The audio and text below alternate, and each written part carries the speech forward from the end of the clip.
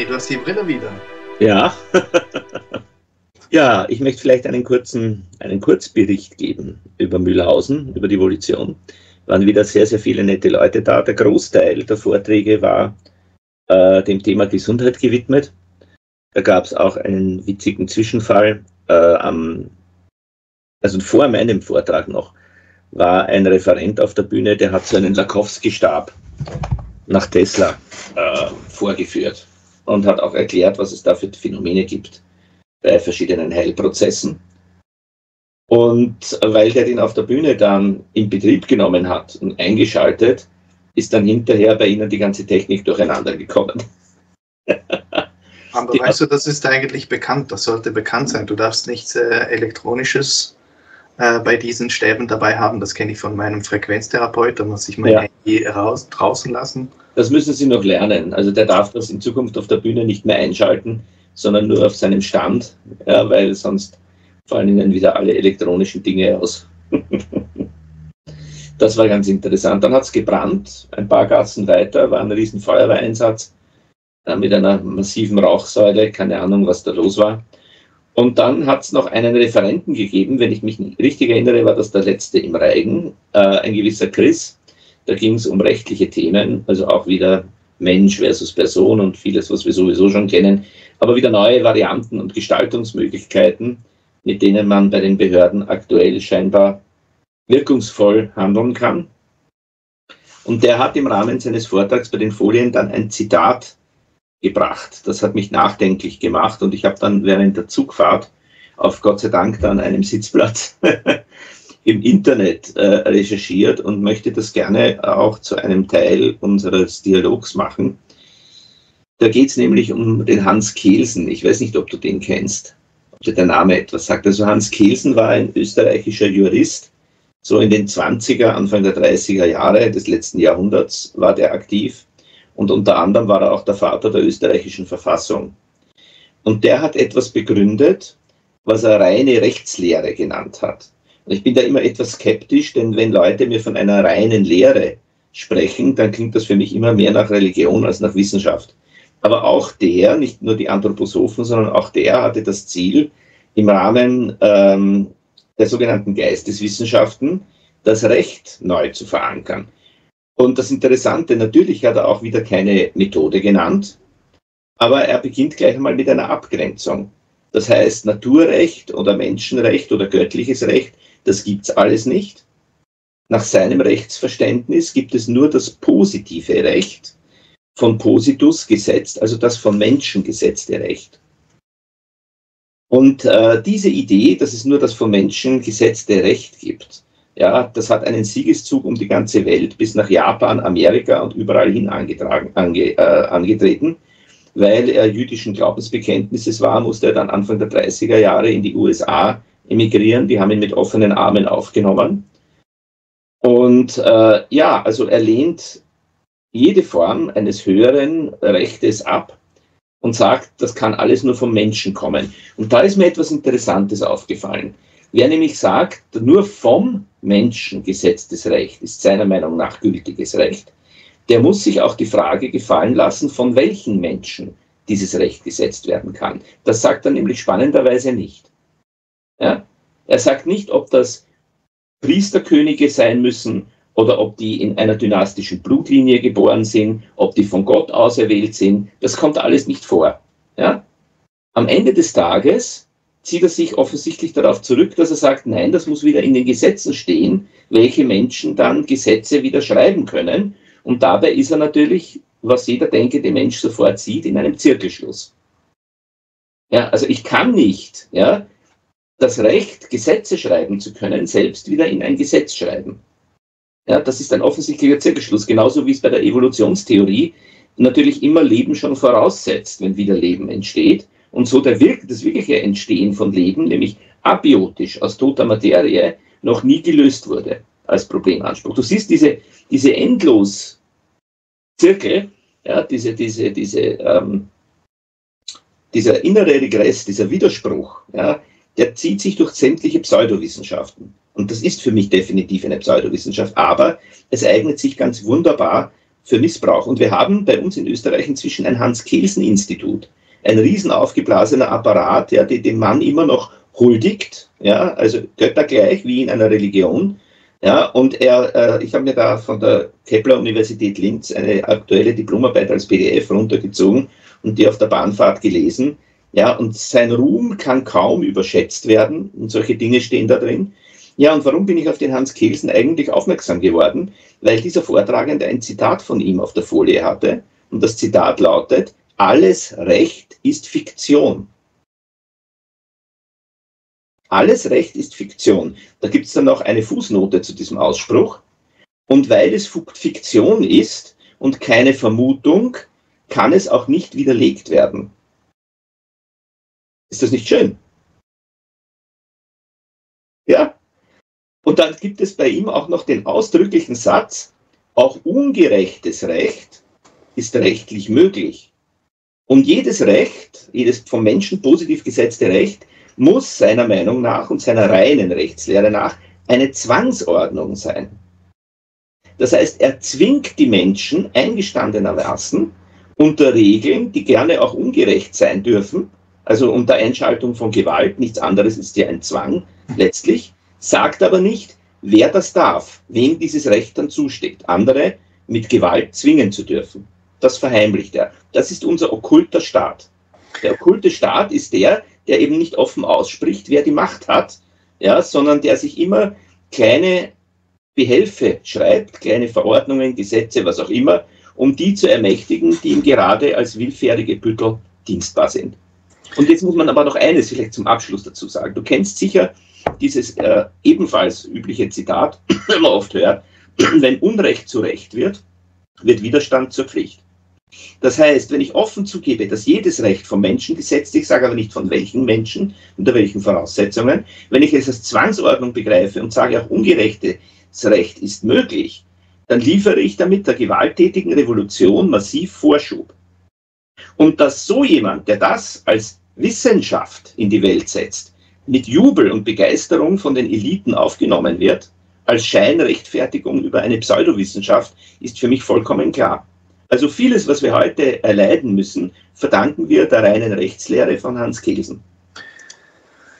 Ja, also ich sag dir, du hast ein Flair dafür, mein Gehirn gerade mal nach äh, zehn Minuten auf Hochtouren zu bringen. Wieso? Weil wenn du so ein Feedback bringst von einer Evolution ja. und du sagst, ja, das Thema war Gesundheit und was weiß ich und mhm. die Evolution kommt mir ein bisschen vor als ähm, wäre es ein Ort, wo ich sage jetzt mal äh, Lösungen äh, äh, bereitgestellt werden äh, und du jetzt solche Themen bringst, dann hast du mich in eine völlige Schieflage gebracht, weil es zuerst so geheißen hat, als hätte dieser Hans Kelsen ähm, ja, für die Guten, ich sage jetzt mal, gestimmt. Und, äh, und jetzt gegen Ende zeigst du eigentlich auf, dass er, äh, den, wie soll ich sagen, für die Politiker äh, die Schienen bereitgestellt hat. Und Ganz genau. Äh, so wie ein Lenin und was weiß ich, immer noch hochgejubelt werden. Ja, hundertprozentig. Und in Wirklichkeit, es ist ja in seinem Denkansatz, ja, in diesem geistigen Zirkelschluss, ja, nur die, die Kraftgesetz beauftragt sind, dürfen Gesetze schreiben. Der, der typische Zirkelschluss. Ja? Äh, und ich meine, wenn mir nichts Besseres einfällt, ja, als dann in einem Parlament ein primitives Mehrheitsprinzip durchzusetzen, wo wir alle wissen, dass das mit Gewalt und Korruption funktioniert heute und eigentlich nirgendwo mit Verständnis, weil unsere lieben Volksvertreter ja, in der Regel über Gesetze abstimmen, die sie selbst nicht einmal gelesen haben. Nach einem Verständnis wollen wir an der Stelle gar nicht fragen. ja. Und inzwischen bekannt ist, und zwar schon seit über einem Jahrzehnt, dass sogar Rechtsanwaltskanzleien für die Banker in Deutschland Gesetze geschrieben haben, vom ersten bis zum letzten Wort, dann kann ich nur sagen, Kelsens reine Rechtslehre lässt grüßen. Ja auch das, was du geschickt hast, äh, der Vogue, ein äh, Kulturkrieg gegen Europa. Wenn ja. du das Anfang liest, dann äh, denkst du und verstehst du auch, wieso dass äh, äh, die Marxisten so viele Anhänger haben. Natürlich, Weil, ja. Ja, warum? Denn die bauen geistige Modelle, in denen immer die Gewalt, der Krieg, ja, ein zentraler Baustein ist. Und wir wissen ja, dass nur der Kriegshäuptling ja, die uneingeschränkte Befehlsgewalt hat und der, der bei Naturkatastrophen eingesetzt ist. Ja? Und deswegen sind die dankbar für jeden Krieg und jede Katastrophe, die sie ausrufen können. Noch dazu, wenn man ihr das, ihnen das mit einer Scheinwissenschaft ummantelt, wie mit der Klimatologie ja, oder der Pandemie bei den Viren etc. etc. Oder bei der reinen Rechtslehre nach Kelsen. Aber bei der Q-Bewegung hast du ja das Gleiche. Die sagen auch, das Militär wird die Wende bringen. Ich habe ich hab das ja gesagt. Das Militär ist ein Werkzeug wie jedes andere auch. Und das kann ich als Werkzeug oder als Waffe einsetzen, zum Guten wie zum Bösen. Rein theoretisch könnte man auch Kelsens reine Rechtslehre als Werkzeug begreifen. Er müsste nur genau erklären, wer diese Regeln, diese Normen setzen darf. Gehen wir jetzt einmal ein bisschen in unsere Technologie hinein, mit den spannenden technischen Gruppen, mit denen wir inzwischen kooperieren, mit den digitalen Kontrakten. Ja? Dieses ganze okkulte Staatswesen, unter denen wir heute leiden, von manchen Leuten wird es der tiefe Staat genannt. Ich sage lieber okkult dazu, weil da sind dann auch gleich alle Gruppen genannt, die im Hintergrund daran an den Stöcken ziehen. Das wird dann besser verstanden. Okkult ist nichts anderes als intransparent. Würden wir flächendeckend sowas wie die Democracy App im ganzen deutschen Sprachraum einsetzen oder andere äh, Werkzeuge, die unsere digitalen Verträge transparent und offen machen, wo jeder kontrollieren kann, ob dagegen verstoßen wird, wenn ja, durch wen, und dann ist dessen Amtszeit sofort beendet. Ein kleines Beispiel. Ja. Dann wären alle diese, diese Schachzüge nicht mehr möglich. Und genau das ist das, wovor sie sich am allermeisten fürchten. Es ist die Transparenz. Und ich denke, das ist auch äh, wahrscheinlich eine ich will nicht sagen ein Problem, aber eine Herausforderung und wahrscheinlich der Grund, wieso das jetzt zum Beispiel äh, nicht äh, erfolgreich war, weil äh, es ist bahnbrechend und es ist aber gleichzeitig auch gefährlich und vielleicht noch gar nicht gewollt. Ja, und da sind wir jetzt wieder bei Q, ja, und bei dem, was du, bis, was du bisher gesagt hast. Wenn das jetzt auf breiter Basis Unterstützung erfährt, ja, durch Geldgeber, ja, durch große Unternehmen, die jetzt gegründet werden dürfen, etc., dann sehen wir auf der anderen Seite, dass diese Zeit gekommen ist. Inzwischen. Nein, ich hatte zuerst ein Meeting mit Raffi, mhm. unserem Raffi.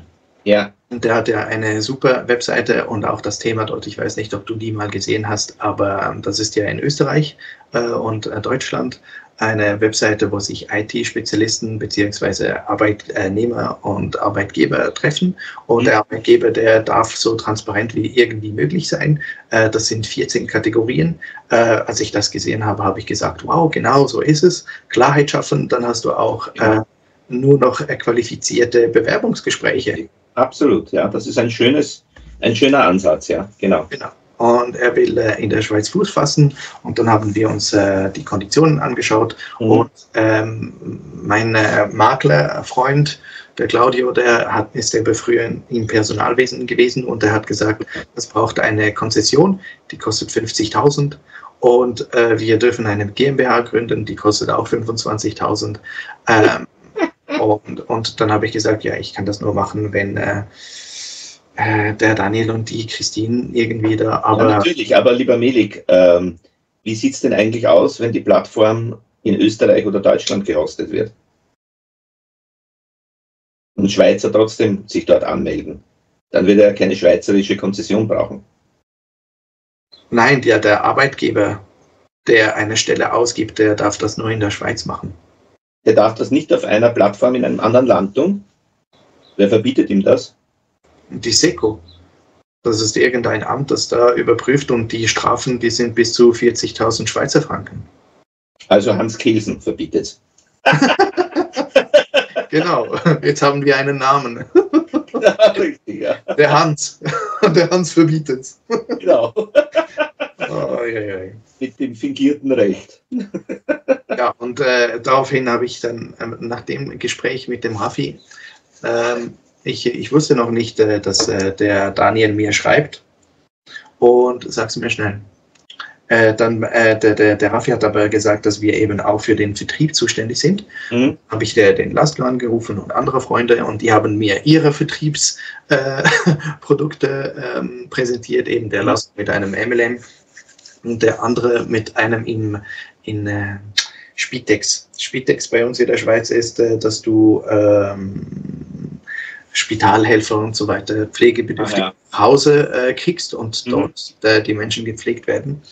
Und ja, er hat etwas im äh, Pflegesegment, wo wir hätten Geld verdienen können. Es tönt wirklich sehr lukrativ, aber ich habe mir dann gesagt, ich habe jetzt dann fünf Themen auf dem Tisch und dann habe ich einfach gesagt, so, ich darf mich jetzt einfach konzentrieren. Wir machen das mit der, der Rechtshilfe und deshalb auch eben die Frage, äh, der Marcel, dem lasse ich ja das Meeting heute. Äh, da hat er sicherlich äh, genug Stress und dann einmal in der Woche. Jetzt habe ich ihn zwei Wochen hintereinander äh, für ein bis zwei Stunden gesprochen und äh, ich kontaktiere ihn nochmals und frage, ob er uns, ich zeige ihm dann die Rechtshilfeseite ja. und frage ihn, ob er äh, uns dort eine helfende Hand bieten kann, wenn, weil wenn das ins Rollen kommt, dann können wir uns selber ähm, finanzieren. Das ist richtig, ja. Dann könnten ja. wir halt eben auch äh, das mit dem Raffi machen, weil ich sehe das eben im CapNet äh, drinnen. Das ist nämlich äh, das Personalwesen. Mhm. Äh, dass wir äh, Forschung betreiben können, mit Klarheit schaffen etc., wie das dann aussieht. Und dann können wir dann die nächsten Plattformen angehen. Und das ist so der nächste Schritt, das mache ich nach unserem mhm. Call. Sehr schön, ja. Ja, äh, also ich habe dann im Rahmen meines Vortrags am Ende auch gesagt, wenn es irgendwelche Webprogrammierer gibt, Leute, die diese neuen Tools ausprobieren wollen äh, oder uns unterstützen wollen, gerne auch gegen Bezahlung, wenn dann Rechtshilfe Erfolg hat. Ich habe das also nicht auf den Folien gehabt, aber mündlich erklärt und vorgetragen, dann sollen Sie sich über unser Mitwirkerformular einfach melden. Den Link und den Screenshot, den habe ich gezeigt auf den Folien.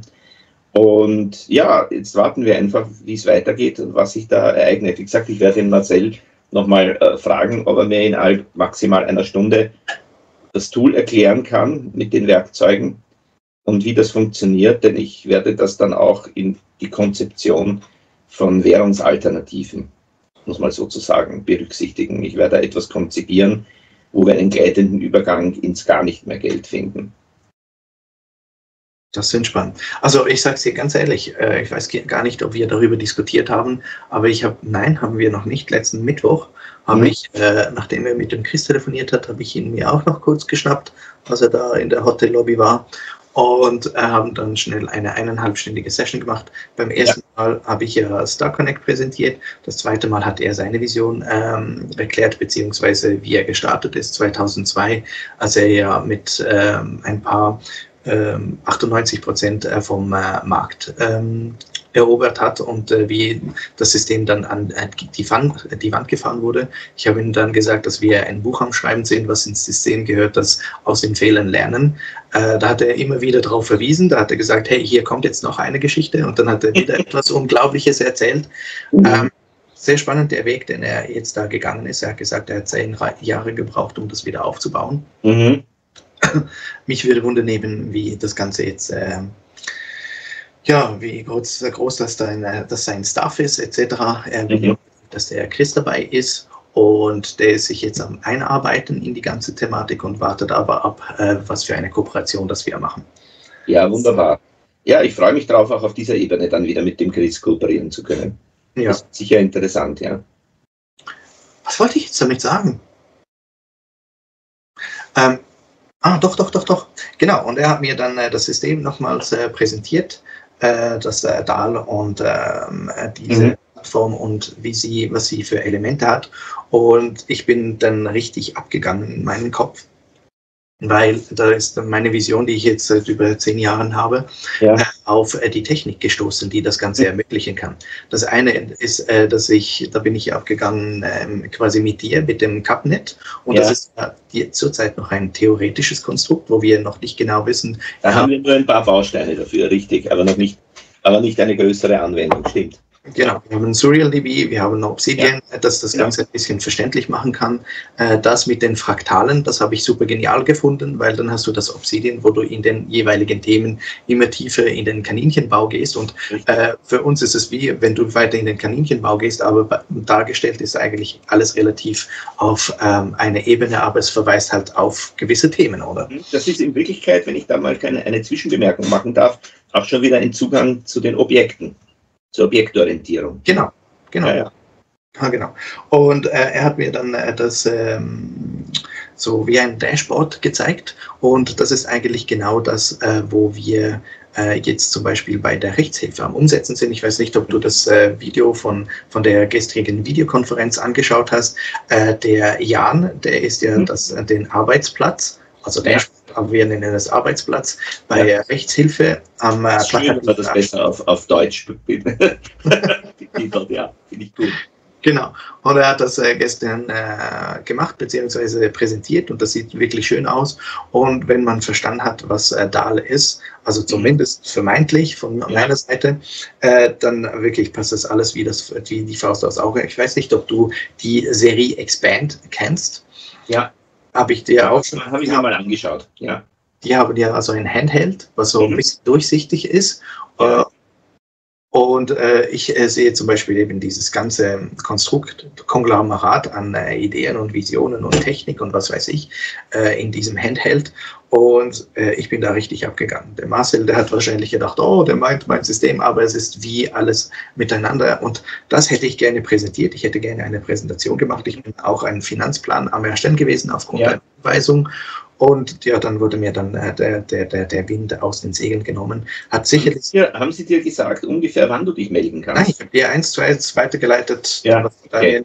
Und auf meine, mein Schreiben hat er nicht geantwortet. Ich kann mir gut vorstellen, dass sie einiges zu tun haben. Aber dann hast du, meiner Meinung nach, und nicht äh, um persönlich zu werden, an diesem Meeting nicht äh, rüberbringen können. Dann haben sie es nicht verstanden, um was das mhm. es geht. Äh, und dann darf ich dann halt die Chance nutzen, wenn ich bei ihnen bin. Ich kann mir nämlich vorstellen, dass es jetzt nur noch diese Woche ist, dass sie nächste Woche dann Zeit hätten. Ja, weißt du, das sind, äh, weißt du, das ist wieder eine Karotte für mich. Ja, Karotte, natürlich.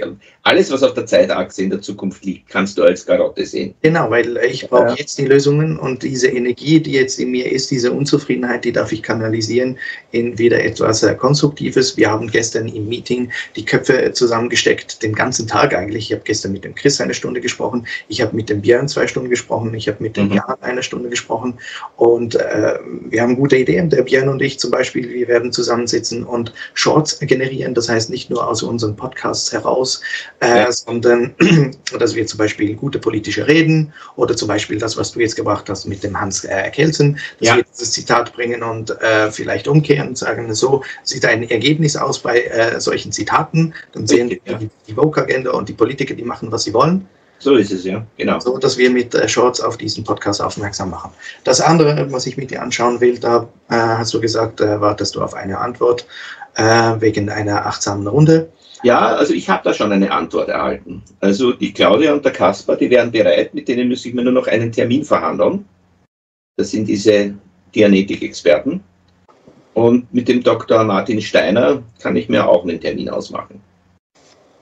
Da muss ich dann nur in meinen Kalender schauen. Das mache ich dann nach unserem Meeting. Wahrscheinlich irgendwann, wenn du möchtest, schon in der nächsten Woche oder in der übernächsten.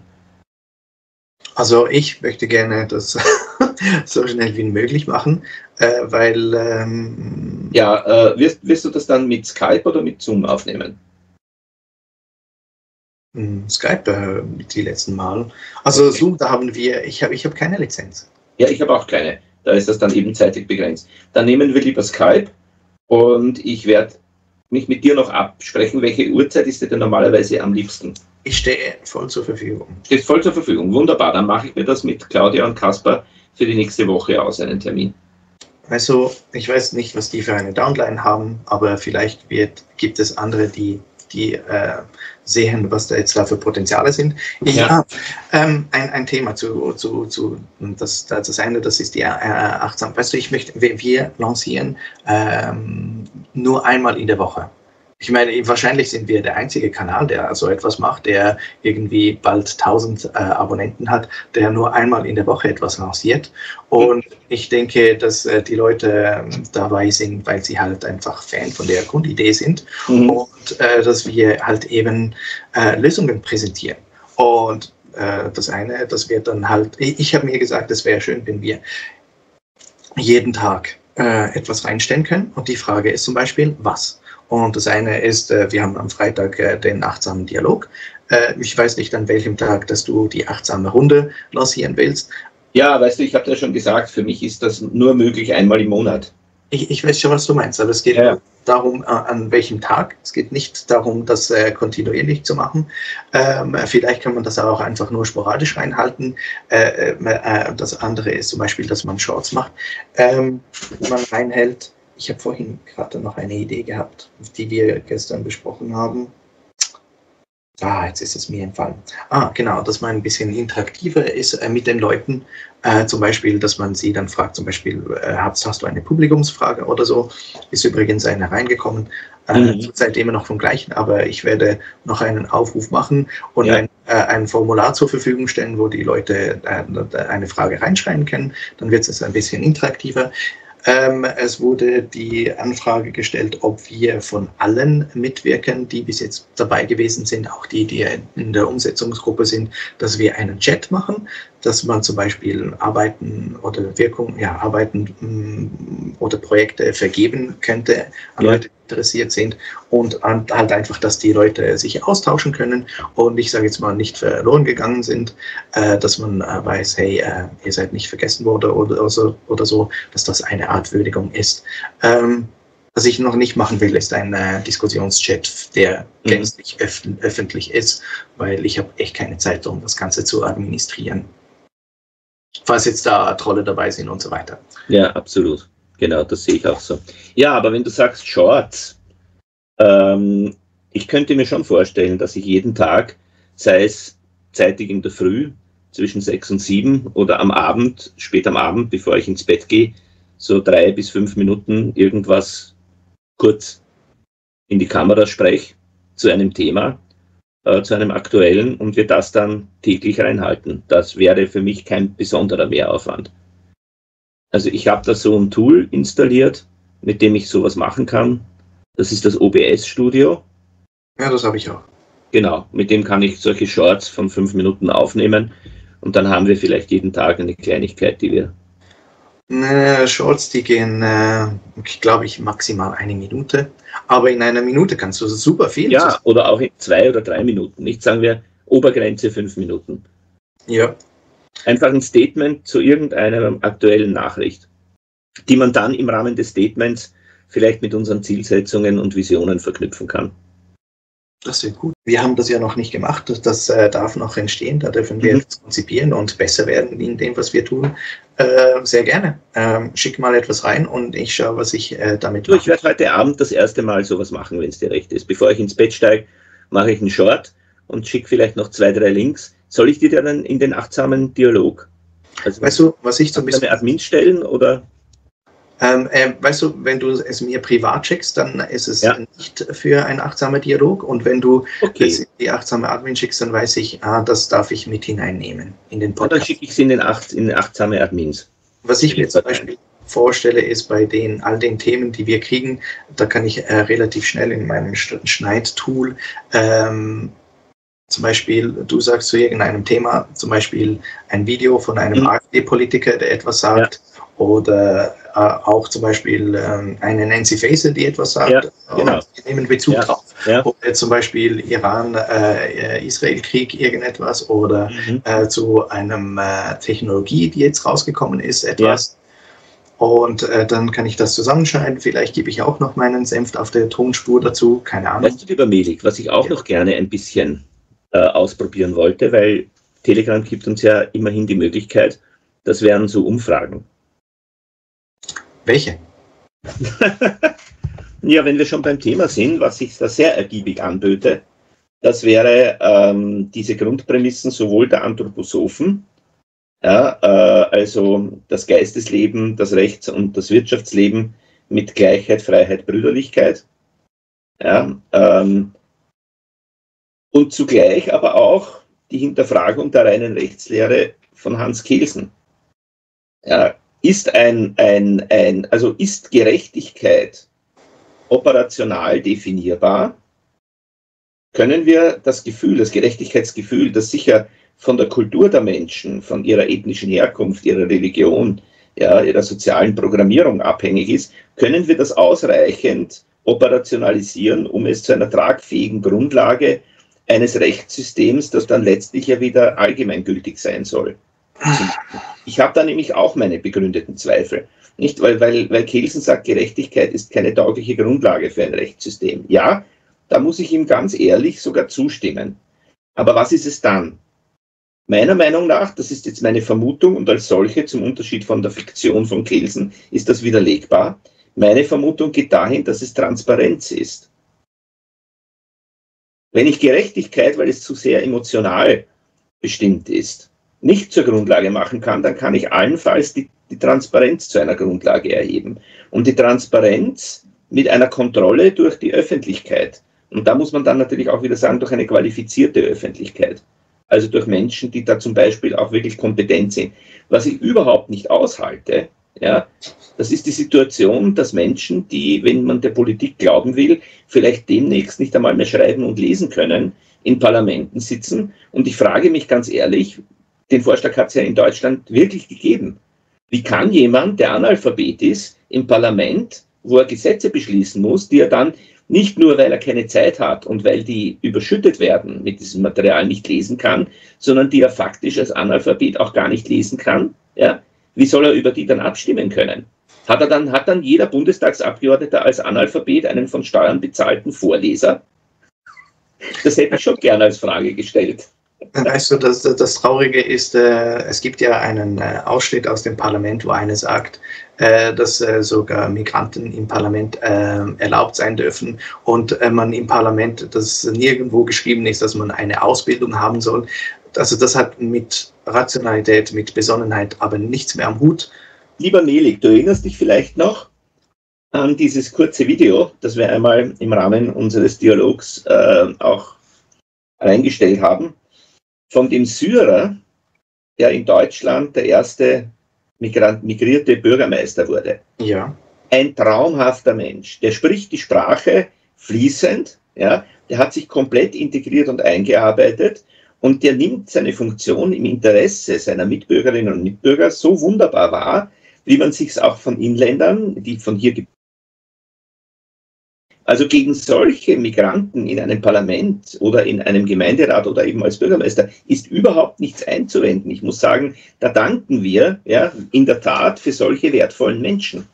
Aber wenn ich davon ausgehe, dass das jetzt dann Analphabeten sind, die äh, die Gesetze, die sie eigentlich prüfen und über die sie abstimmen sollen, dann faktisch gar nicht lesen können, dann frage ich mich schon, wie soll ein Parlament dann überhaupt noch funktionieren? Die, die diese Anfrage stellen oder diesen Antrag stellen, wissen die überhaupt, wie ein Parlament funktionieren soll? Scheinbar nicht. Ich glaube, das äh, wissen nicht mal äh, gewisse Politiker, die dort drin sind. Ähm, ja. ähm, ich habe mal ja, nein, da gehe ich jetzt nicht ins äh, Detail hinein. Ähm, aber ich habe doch, ich habe mal einen gefragt, äh, einen, einen, ziemlich intelligenten Jungen, äh, wie er dann, ich sage jetzt mal, eine Demokratie, ein Parlament führen würde. Wie würden Wahlen stattfinden? Und der hat dann gesagt, dass du ähm, die Wahlen, die würden auf einer Blockchain stattfinden und du kannst dich nur für diese Blockchain qualifizieren beziehungsweise ähm, äh, Fragen erhalten auf dieser Blockchain, wenn äh, du äh, zehn Fragen, äh, was äh, die Kernkompetenz dieser Wahl anbelangt, dass du diese richtig beantwortest. Und sonst qualifizierst du nicht. Ja. Dann hast du auch nicht das Recht, wählen zu dürfen. Mhm. Und meiner Meinung nach gehört das mitunter äh, zu dein, dem Thema, was du gesagt hast, äh, mit der Transparenz. Du ja. darfst, du musst, ich, du weißt, ich bin kein Freund von Müssen, aber irgendwo darf, darf es Prämissen geben, Grundvoraussetzungen.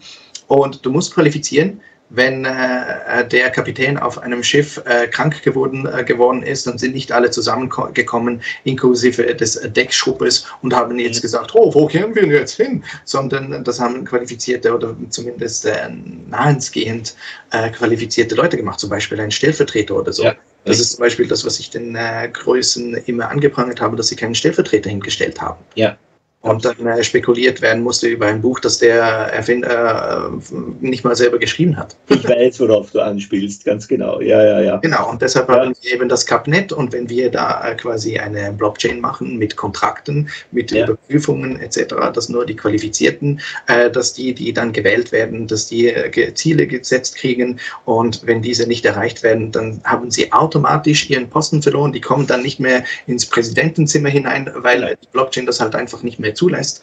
Äh, dann müssen Neuwahlen getroffen werden, Eilurteile ein, oder Interims einen Präsidenten gewählt werden, weil der derzeit genau. inkompetent ist, weil er einfach seine Ziele nicht erreicht hat. Ja, weißt du, Melik, ich würde ganz gerne meine Gruppe Kooperativer Individualismus ein bisschen aktiver gestalten. Das wollte ich auch schon. Damit ja. die Leute ein bisschen was aus eigenem auch beibringen und nicht nur wieder einen Link, wollt ihr Gesundheitsartikel kaufen, ja, oder im blödesten, Film, im blödesten Fall äh, kauft irgendwelche Kryptowährungen, die fliegen sowieso alle raus, ja, die da kommerzielle Angebote machen. Ähm, aber es reicht auch, wenn äh, der Klaus Glatzel oder andere da auch wieder nur ihren eigenen Kanal bewerben. Ja. Solange das nichts ist gegen Bezahlung, dürfen sie gerne drinnen bleiben. Aber wenn das irgendwann äh, die Toleranzgrenze, die Schmerzgrenze, würde ich sagen, überschreitet, werde ich mir da auch Schritte überlegen. Ja. Weißt du, das Ding ist, und darüber haben wir schon mal gesprochen und ich sogar ja. Kanal und deshalb bin ich dann auch rausgegangen, äh, weil keine Kooperation stattfindet. Einfach nur äh, Dinge reinzustellen und keine Diskussion zu führen. Es finden ein paar Diskussionen statt, aber meiner Meinung nach viel zu wenig und deshalb verstehe ich sehr gut, wenn du äh, das äh, interaktiver gestalten Ja, ich werde mir das mal anschauen. Vielleicht schaffe ich das auch selbst, da so eine, eine Umfrage mal zu starten. Das ist ganz einfach. Ja, ich schaue mir das an. Das findet man sicher im Internet. Ähm, denn ich kann mir vorstellen, wir sollten wirklich jetzt repräsentativ, mein Gott, das sind 600, 800, sind momentan 800 Leute, ja, aber wenn, wenn da möglichst viele wirklich mitmachen, nach der Frage, brauchen wir überhaupt allgemeingültige Gesetze? Ein paar Sekunden später. Wo sind wir stehen geblieben? Äh, Gespräch? Äh, dass du einen äh, Chat machen willst, äh, eine, eine Umfrage. Eine Umfrage im Chat, ja, ganz richtig. Mach ich, das mache ich heute Abend und äh, einen ersten Short lasse ich dir auch zukommen. Äh, ganz rechts oben kannst du auf die drei Punkte gehen und dann hast du gleich Umfrage erstellen. Aha, okay. Du kannst keinen langen Text reintun. Den würde ich vorgängig reintun und dann die Umfrage starten. Danke, das ist eine sehr gute Idee. So werde ich es machen. Ja, richtig. Weil, weißt du, ähm, ich denke mir, höchstwahrscheinlich ist es, wenn wir an die Zukunft denken, in unseren Gemeinschaften, gar nicht notwendig, allgemeingültige Gesetze, die mit einem Zwang versehen sind, zu erschaffen, denn alles, was wirklich notwendig ist, ist in einer Gruppe im Großen und Ganzen harmonisch gleichgestimmter Menschen die Kommunikation sicherzustellen. Ja, dass wir also ausreichendes Verständnis aufbauen, um sinnvoll und erfolgreich kommunizieren zu können. Dann reicht darüber hinaus ein einfaches Vertragsrecht. Und ich glaube, da muss ich mich noch genauer informieren, dass das ohne dies das Common Law sein kann. Also ich verstehe dich voll und ganz. Und das, was dann äh, sehr oft sehr schnell kommt, wie zum Beispiel beim Kodex, den wir aufgestellt ja. haben, da steht, dem Fleißigen stets die Türe zur Freiheit und Glückseligkeit offen lassen. Sonst mhm. sagst du, ja, das klingt vernünftig, das ist besonnen, weil nur die Fleißigen, die erzeugen ja. auch etwas für einen Mehrwert und so weiter. Und dann kommt aber die Frage, was ist mit denen, die nicht fleißig sind? Jetzt hast du ein paar Prämissen in den Raum gestellt, wo du sagst, ja, das ist besonnen, die Leute sollten das sein. Was ist mit den Leuten, die das nicht können, äh, nicht wollen? Das ist das eine. Und was machst du aber mit denen, die das nicht können? Die so verwehrt sind, dass äh, sie das einfach nicht können. Schau mal, lieber Melik, es ist im Prinzip ganz einfach. Was wir da benötigen für unsere Statuten ist ein Kommentar. Ja, wie bei jedem Gesetz brauchen wir eine ausführliche Beschreibung, was die eigentlich die einzelnen Begriffe bedeuten. Was bedeutet jetzt zum Beispiel fleißig? Äh, ich sag dir mal, wenn jemand krank ist, ja, und er war einmal fleißig oder er hat die Absicht, dann wieder fleißig zu sein, wenn er gesund ist, dann ist er sowieso auch ein Mitglied von uns. Oder wenn jemand zu alt und schwach ist und bestimmte Dinge nicht mehr tun kann, dann wird er wahrscheinlich aus eigenem Interesse ja, sich danach umsehen, was, was ist sonst in seiner Macht. Kann er Kindern gute Nachtgeschichten vorlesen oder kann er auf den Hund vom Nachbarn aufpassen? Ja, ich weiß es nicht. Ja, also der Begriff fleißig muss eben bestimmt inter interpretiert werden. Ich weiß, ich kann mir gut vorstellen, dass es Leute abschrecken kann, weil wenn du zum Beispiel daran denkst, wie gerade Mao die Intellektuellen ja, umgeschult hat, die mussten von den Bauern lernen und am Feld arbeiten. So kannst du fleißig auch interpretieren. Auch das kannst du sagen, nur die Fleißigen dürfen dann im Arbeiter- und Bauernparadies leben. Ja, indem sie sich fleißig zeigen, indem sie dann die Felder umgraben mit der Hand. Das ist, das ist alles, das ist alles, diese menschlichen Begriffe, diese Wörter, die sind viel zu mehrdeutig, um das wirklich zu transportieren, was wir kommunizieren wollen. Das ist bei jeder Norm und bei jeder Regel ist das die latente Gefahr. Aber wenn man das, wenn man das vorlebt, dann wird die Gefahr stark reduziert, weil dann sehen Sie es ja an den Menschen, die das tun oder versuchen umzusetzen, was es bedeuten kann. Weißt du, was es bedeutet? Es gibt einen Indianerstamm. Bei denen ist es so, dass äh, die sich einmal im Jahr treffen und dann müssen die äh, einen Auszug von ihrem Bankkonto bringen. Und mhm. die zwei, nehmen wir an, es sind neun Leute. Ja. Oder ähm, äh, es sind äh, immer die ähm, Führer der, der, der Familie und es ist ja. immer der Mann. Und ja. wenn es eine Frau ist, heißt das, äh, dass sie nicht verheiratet ist. Okay. Und das zeigt dann immer, ah, okay, die äh, darf sich noch vermählen. Ähm, aber das ist so nebensächlich. Äh, die zwei, die am meisten auf ihrem Konto haben, ja. die müssen die Siedlung verlassen. Das heißt es, nicht fleißig genug zu sein, weil sie einfach zu wenig hergegeben haben, weil sie zu viel auf ihrem Konto haben. Spannend, oder? Das ist natürlich spannend. Aber weißt du, das ist eben, das kannst du auch wieder als Fleiß interpretieren.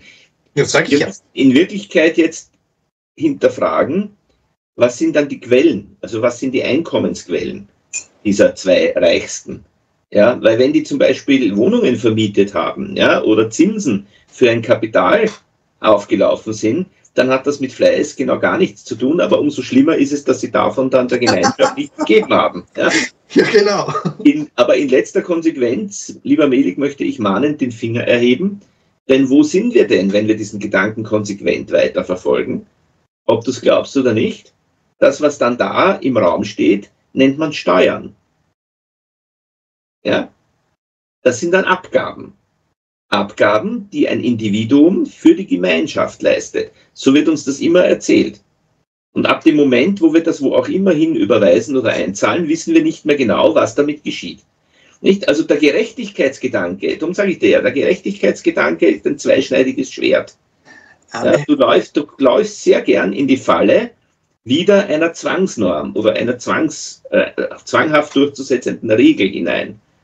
Ja, also das mit den zwei Reichsten, äh, die auszuschließen, halte ich ganz ehrlich für keine gute Idee. Es, es war nur ein Beispiel, äh, was weiß, es da draußen äh, für Praktiken gibt. Richtig. Und äh, genau das hat wird Capnet eben auch ein äh, sehr spannender Ort sein, weil dort, weißt du, ich, ich ich weiß nicht, letztens habe ich auch wieder irgendwo eine, irgendeine Lösung gesehen. Und das ist einfach eine Lösung. Und mhm. von denen wird es ganz viele geben. Ich habe keine, ganz ehrlich, lieber Franz, ich habe keine Lust zu, zu, entscheiden.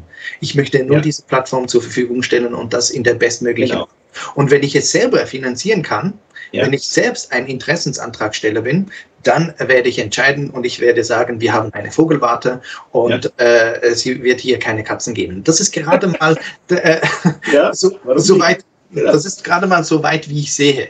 Weißt du? Und äh, ja doch, genau. Gestern habe ich gesehen, ähm, ich weiß nicht, ähm, wie diese Siedlung heißt, aber dort wird gesagt, dass du zwei Grundstücke hast und dass ähm, die Grenzen, dass diese für ähm, irgendetwas Öffentliches sein wird. Und da sage ich, Okay, das ist eine Möglichkeit. Vielleicht gibt es Orte, wo du nichts Öffentliches dazwischen haben kannst und dann hast du vielleicht, äh, wie es die Anastasie gesagt hat, einen, einen lebendigen Zaun und dann hast du äh, Bäume und Sträucher, weil die Sträucher, die sorgen dafür, dass wenn äh, starke Winde wehen, die Bäume nicht kaputt gehen etc. Ja. Ich zum Beispiel wäre ein Freund von Jasmin. Äh, ich habe zum Beispiel einen Jasminstrauch bei mir. Ich wusste gar nicht, dass das bei uns wächst. Und, ja, das haben wir auch, ja. Genau. Wir haben es hier bei meinem Haus und am Waldsee haben wir auch Jasminsträucher. Duften ja. wunderbar, wenn sie blühen. Genau, und die Zeit ist gerade vorbei. ähm, und dann kannst du wunderbaren Tee machen, weißt du, du hast so Zeit einfach Nutz und die, äh, Nutzpflanzen etc.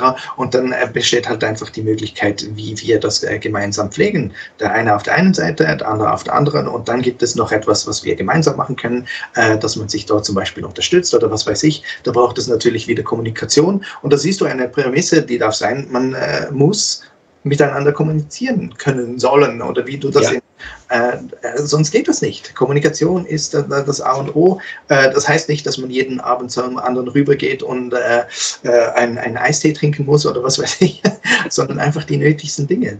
Und ja, das sehe ich genauso, Melik. Da, da, da sind wir wieder ganz in Harmonie. Ja. Wenn es ein Gesetz gibt, ja dann meiner Meinung nach die goldene Regel und zwar die konstruktive Form davon. Richtig, ja. Darüber haben wir schon ein paar Mal besprochen.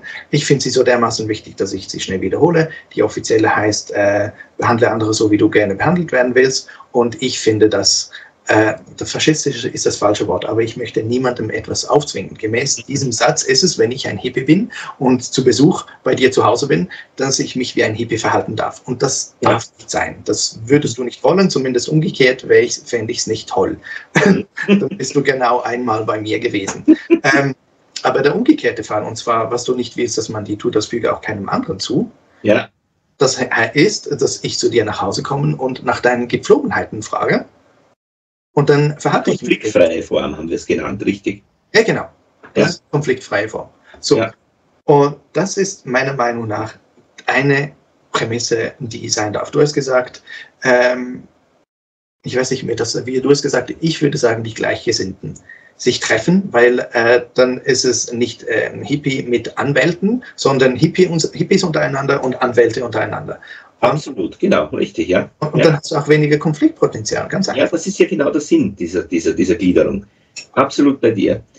Ähm, also ich denke, wenn wir ein solches Verständnis schaffen, dass die Menschen wissen, dass nur der Mangel äh, in 90 Prozent der Fällen der Auslöser von Konflikten ist und dann natürlich ähm, das Aufzwingen persönlicher Sichtweisen und Meinungen Religionen, politischer Ideologien, was auch immer, da können wir viel dranhängen. Ja. Wir respektieren, ich respektiere das, wenn ein Mensch so etwas hat, so eine Sichtweise. Und ich, würde, ich bin wirklich der aller, allerletzte, der versucht, andere zu missionieren. Ja, was ich versuche, anderen beizubringen, und vielleicht bin ich da schon ein bisschen ein Missionar, das ist diese goldene Regel von Kant. Ja, wage es, dich deines freien Verstandes zu bedienen. Sapere aude. Ja, dieses sapere Aude. Ja, also benütze deinen möglichst unverfälschten Verstand, ja, um auch dann selbst für deine Handlungen Verantwortung übernehmen zu können. Ja. Ich finde das wirklich super. Ähm, das gehört nämlich in die Kategorie hinein, ähm, die Menschen zu entwirren dass sie nämlich merken, weißt du, du hast vorhin gesagt Mangel. Und ich nehme an, so wie du es formuliert hast, dass du den physischen Mangel meinst. Ja. Aber ich denke, der viel wichtigere Mangel ist äh, der, äh, der psychische Mangel. Und mhm. zwar der Mensch, der will Aufmerksamkeit und Anerkennung, noch bevor er die Grundbedürfnisse der äh, Pseudo-Maslow-Pyramide. Mhm. Äh, und wenn wir den Menschen beibringen, dass sie viel glücklicher werden, wenn sie dieses nicht im Außen, sondern im Innern suchen, ja. dann haben wir schon gewonnen. Richtig. Wenn jeder ein Kultivierter ja. ist und sich selbst reflektiert und den Mangel selbst ausgleichen kann und nicht das im Außen suchen zu müssen, das ja. ist natürlich eine Herkulesaufgabe. Aber wenn wir das in der Gruppe machen, ist es viel, viel einfacher, als äh, wenn man das alleine tun muss. Und deshalb braucht es die Gleichgesinnten, die an diesem einen Strang ziehen. Und wenn wir das lösen, dann äh, wird alles obsolet, weil letztes Mal haben wir darüber geredet, äh, in der Fülle zu sein. Und ich sage, äh, die Fülle äh, ist eigentlich nicht die Lösung, sondern eigentlich mit wenig äh, auskommen zu können. Das ist ähm, ähm, tugendhaftes Verhalten, das ist die Mäßigung, das ist äh, stoisches Denken, dass man mit wenig zufrieden ist und nicht jetzt einfach alle Geilheiten auf diesem Planeten haben muss. Melik, ich glaube, wir werden uns das Beste aus beiden Welten nehmen. Ja? Das, ist, das ist das Optimum, okay? Da bin, genau. bei, da bin, ich bei, dir. Wir werden, wir werden äh, uns mit Genügsamkeit und Zufriedenheit ja, dort über Wasser halten, wo es die Fülle noch nicht gibt. Dann sind wir zumindest in einer Ausgeglichenheit, also in einer gefühlten Fülle. Und später mit der richtigen Technologie darf jeder selbst entscheiden, wo er mehr haben will und wo er mit dem, was er bisher hatte oder auch nicht hatte, zufrieden ist. Ja. Ich möchte hier äh, meinen äh, Gartenmentor zitieren, der mhm. ein Namensvetter von dir ist, der liebe Franz. Okay. Äh, der hat nämlich gesagt, Melik, wenn du einen Garten hast, wenn du einen schönen Garten hast, dann wirst du gar nicht mehr in die Ferien gehen. Und das, das ist vielleicht ja. Das ist vielleicht etwas, was viele Menschen nicht verstehen können. Wieso weiß ich das und wieso behaupte ich das? Weil wenn ich die Leute fragen, was würdest du tun, wenn Zeit und Geld obsolet wäre, dann sagen sie, sie 80 Prozent sagen, sie gehen reisen. und die Frage ist, wieso gehen sie reisen? Das haben wir auch schon besprochen. Die sind auf der Suche. Absolut, richtig. Genau. Ja. Und er sagt, wenn jemand einen Garten hat, dann hat er das gefunden, was er braucht. Und die Anastasia hat gesagt, die, die die, die, die Welt bereits unendlich viele Mal gerettet haben, das sind die Kleingärtner. Mhm. Weil das sind die, die wahrhaftig Freude haben. Und dann, äh, der Franz hat das eben auch gesagt. Er hat gesagt, Melik, Gärtner sind die, Freund, sind, die, sind die glücklichsten Menschen. Und dann habe ich das meiner Nachbarin erzählt, die Gärtner als Beruf hat. Mhm. Das heißt, sie muss ihr Geld damit verdienen. Und da habe ich ihr das gesagt und da hat sie, hat sie gesagt, weißt du, Melik, ich kann dir viele Gärtner zeigen, äh, die sind äh, psychisch krank mhm. geworden. Und dann habe ich gesagt, wahrscheinlich, weil sie ihr Geld damit verdienen. Und sie sagt, ja, genau. Und ich sage, das ist eben genau das Problem. Dieses ja, Geld. Oder? Ganz genau. Weißt du, Melik, und da sind wir jetzt auf Umwegen wieder auf einen Punkt gekommen, den ich mir dann mit dem, unseren lieben Technikerfreunden noch genauer anschauen werde. Ähm, die Weiterentwicklung unseres Geldsystems hin zum nicht, nicht mehr Geld. Ähm, wenn wir von der Erkenntnis ausgehen, dass wenn du den Letztverbraucher in einer Supply Chain nicht mit ausreichend Kaufkraft ausrüstest, jedes Geschäftsmodell irgendwann zum Pyramidenspiel wird. Ja, dann darfst du dir die Frage stellen, wie lösen wir das? Eine Lösung, das ist die, die man im alten System auch hatte, die Letztverbraucher sollen sich Kredite aufnehmen, sie sollen sich verschulden. Ne? Da ist die große Frage, wo nehmen die dann das Geld für die Rückzahlungen, für die Zinsen her? Nicht? Dann steigen die Schulden wieder an, bei der Bank ja auch durch die Geldschöpfung, da haben wir wieder diese Absurdität dabei. Also langfristig auch nicht wirklich sinnvoll. Und da denke ich mir jetzt eine Ergänzung beispielsweise durch ein Gutscheinsystem. Wenn ich sage, in einer Gemeinschaft sind alle Menschen, und da sind wir wieder bei dieser Idee von Nesara Gesara, ja, die sagen, solange du einen bezahlten Job hast, kriegst du jetzt, du wirst jetzt mit Geld mal zugeschüttet, weil zum Beispiel alle deine Steuern, die du ein Leben gezahlt hast, kommen zurück. Ja? Du kriegst es aber nur, wenn du deinen bezahlten Job weiterhin ausübst. Ja? In Klammer, in Parenthese dürfen wir dann noch die Frage stellen, ja wirklich für die gleichen Wochenstunden oder reicht es, wenn ich dann vielleicht nur zwei oder drei Tage in der Woche arbeite, bei gleichem Bezug? Ja, weil ja damit zum Beispiel mehr freie Stellen wieder für andere frei werden. Ja. Das ist einmal der eine Punkt. Und der andere ist, wenn der nachweist, dass er für die Gemeinschaft tätig ist, auch wenn er nur wenig verdient, ein Gärtner zum Beispiel, ja, dann erhält er einen Gutschein für Gebäude, die jetzt mit dem 3D-Drucker oder als Earthship oder was auch immer verfügbar sind. Und wenn er den Gutschein dann einlöst, ja, ja, dann entsteht durch die Einlösung das Geld beim, Bau, beim, beim Baumeister und bei den Firmen, die das errichtet haben. Aber der Gewinn entsteht bei diesen Unternehmen erst dann, wenn der Letztverbraucher damit zufrieden ist und das auch wirklich benutzt, wenn er das benutzen kann. Er kann das nicht vorher an Spekulanten verkaufen, wieder an Immobiliendeveloper, die das wieder nur zum Verkauf erwerben.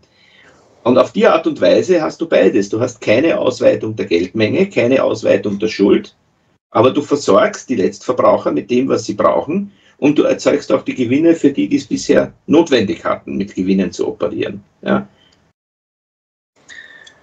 Ähm, sorry, Franz. Ja. Ich komme unweigerlich, kommen mir, mir Bilder, ganz viele verschiedene Bilder aus dem Film ja. In Time in den Sinn. Warum? Äh, weil äh, dir etwas gegeben wird, was äh, du dann in äh, nützliche Frist ähm, einsetzen darfst. Und da kommt mir diese Szene äh, in den Kopf, äh, also weißt du, nur weil du gesagt hast, ja, du kriegst dann dieses Geld, was äh, diese Steuern, die du jetzt äh, diese Jahrzehnte gezahlt hast, etc. Das, ja. das heißt, es kommt eine Riesenwucht. Und ähm, Leute, die das machen, also in Time, in, in Time war es so, der Besonnene, der Held, der wusste, wie mit der Zeit umzugehen ist. Und der hat dann seinem besten Freund ein Ja gegeben. Und was hat der ja. gemacht? Der hat sich zu, zu Tode gesoffen. Und das ist eben das Problem. Du, äh, ähm, du, du hast einen Lösungsweg, der nicht für alle funktioniert. Äh, du, du, du, du, du, du hast ein Ziel, äh, das ist eben quasi das bedingungslose Grundeinkommen, aber du baust kein System auf, so dass die das sinnvoll äh, umsetzen können. Und deshalb setze ich an den Kultivierungsansatz und sage, die Leute dürfen sich zuerst wehren, damit die Werkzeuge, die ihnen dann zur Verfügung gestellt werden, da, da, damit, dass sie damit umgehen können. Du willst denn, ja, Weißt du, weißt du, nur schnell, nur schnell. Die Leute, du, ich, die Leute schauen, die Leute schauen jetzt. ist ja unserer. Der Kulturwandel ist ja unserer. Das machen wir ja beide gemeinsam. Ja? Was ich jetzt gesagt habe, dieses Geldsystem, das ist für die, die noch nicht bei Star Connect sind, genau für die, die dann dabei sein werden. Ja? ja Was ich mir vorstelle, ist, bisher wurde die Weltbevölkerung aussortiert, die Spreu vom Weizen, getrennt über den Mangel. Die, die halt bescheiden waren, ja, oder die, die sich jetzt selbst versorgen konnten mit dem, was sie brauchen, die sind im Spiel geblieben, die anderen sind ausgeschieden. Und ich stelle mir das durchaus sinnvoll vor, dass man in der nächsten Runde ja, die Spreu vom Weizen durch die Fülle trennt. Indem man die Menschen jetzt mal mit Geld zuschüttet und sagt, schauen wir mal, wie sie jetzt damit umgehen. Auch da werden viele nicht durchkommen. Die werden sehr wohl, sehr wohl, ich habe es ja schon gesagt, äh, in meinem Netzwerk, da gibt es äh, Gerüchte, dass bestimmte Teile der Redemption schon ausbezahlt wurden. Und was machen die? Die stehen Schlange bei Eigentumswohnungen in Monaco und bei Yachten, die sie sich jetzt kaufen wollen. Und die werden natürlich die Preise dort in die Höhe treiben. Ja? Und da wird es Konflikte geben. Und die ruinieren jetzt natürlich überall den Markt mit, diesem Über, mit dieser Übernachfrage. Das ist genau das, was, wo ich gesagt habe, wenn wir vernünftig sind, müssen wir das in Zukunft vermeiden. Zum Beispiel die Kooperationspartner von Star Connect, die kriegen ganz andere Angebote. Da gehen wir nicht mit den Preisen in eine beliebige Höhe, sondern wir sagen, wenn du in unserer Gesinnung denkst, ja, bietest du uns das zu einem Fixpreis an. Der kann gerne höher sein als der heutige, habe ich gar kein Problem damit. Aber wenn dann wieder ein Mangel eintritt, weil deine Kapazität nicht aus, ausreicht, beteiligen wir uns an deinem Unternehmen ohne Stimmrecht und ohne dass wir da jetzt irgendwas in deiner Geschäftsführung manipulieren oder übernehmen wollen, nur um deine Kapazität zu erweitern, damit wir unter den gleichen Konditionen auch mehr versorgen können. Das ist ja die Idee. Nicht? Und wir, ich habe es ja immer wieder, wir müssen davon ausgehen, dass nicht alle jetzt, egal in welcher Form eine Veränderung kommen wird, von heute auf morgen in einer Sternensiedlung wohnen werden. Ja, und dass wir nicht sofort innerhalb kürzester Zeit, nicht einmal in einem Jahr, ja, für, für alle Kontinente ausreichend Sternensiedlungen errichten werden können. Es wird, genau. der Großteil der Menschen wird außerhalb leben. Genau, und deshalb dürfen wir, deshalb äh, halte ich so große Stücke an diese Plattform, die wir jetzt gerade generieren, sei ja. es Rechtshilfe, sei es irgendetwas in der Immobilienbranche. Also es, gibt, es gibt die sogenannte Star Connect Garantie, die, die habe ich bereits in äh, die Präsentation äh, für die Sponsoren mit hineingenommen. Ja. Ähm, ich äh, habe nicht alle auswendig, deshalb lasse ich es an dieser Stelle, aber da geht es darum, um einen signifikanten Teil äh, der Dienstleistung, diese kostenlos zur, zur Verfügung zu stellen, ja. um Menschen aufzuzeigen, dass, es, dass man auch so erfolgreich sein kann, indem man großzügig ist und nicht das Umgekehrte, indem man ehrgeizig ist. Ganz genau.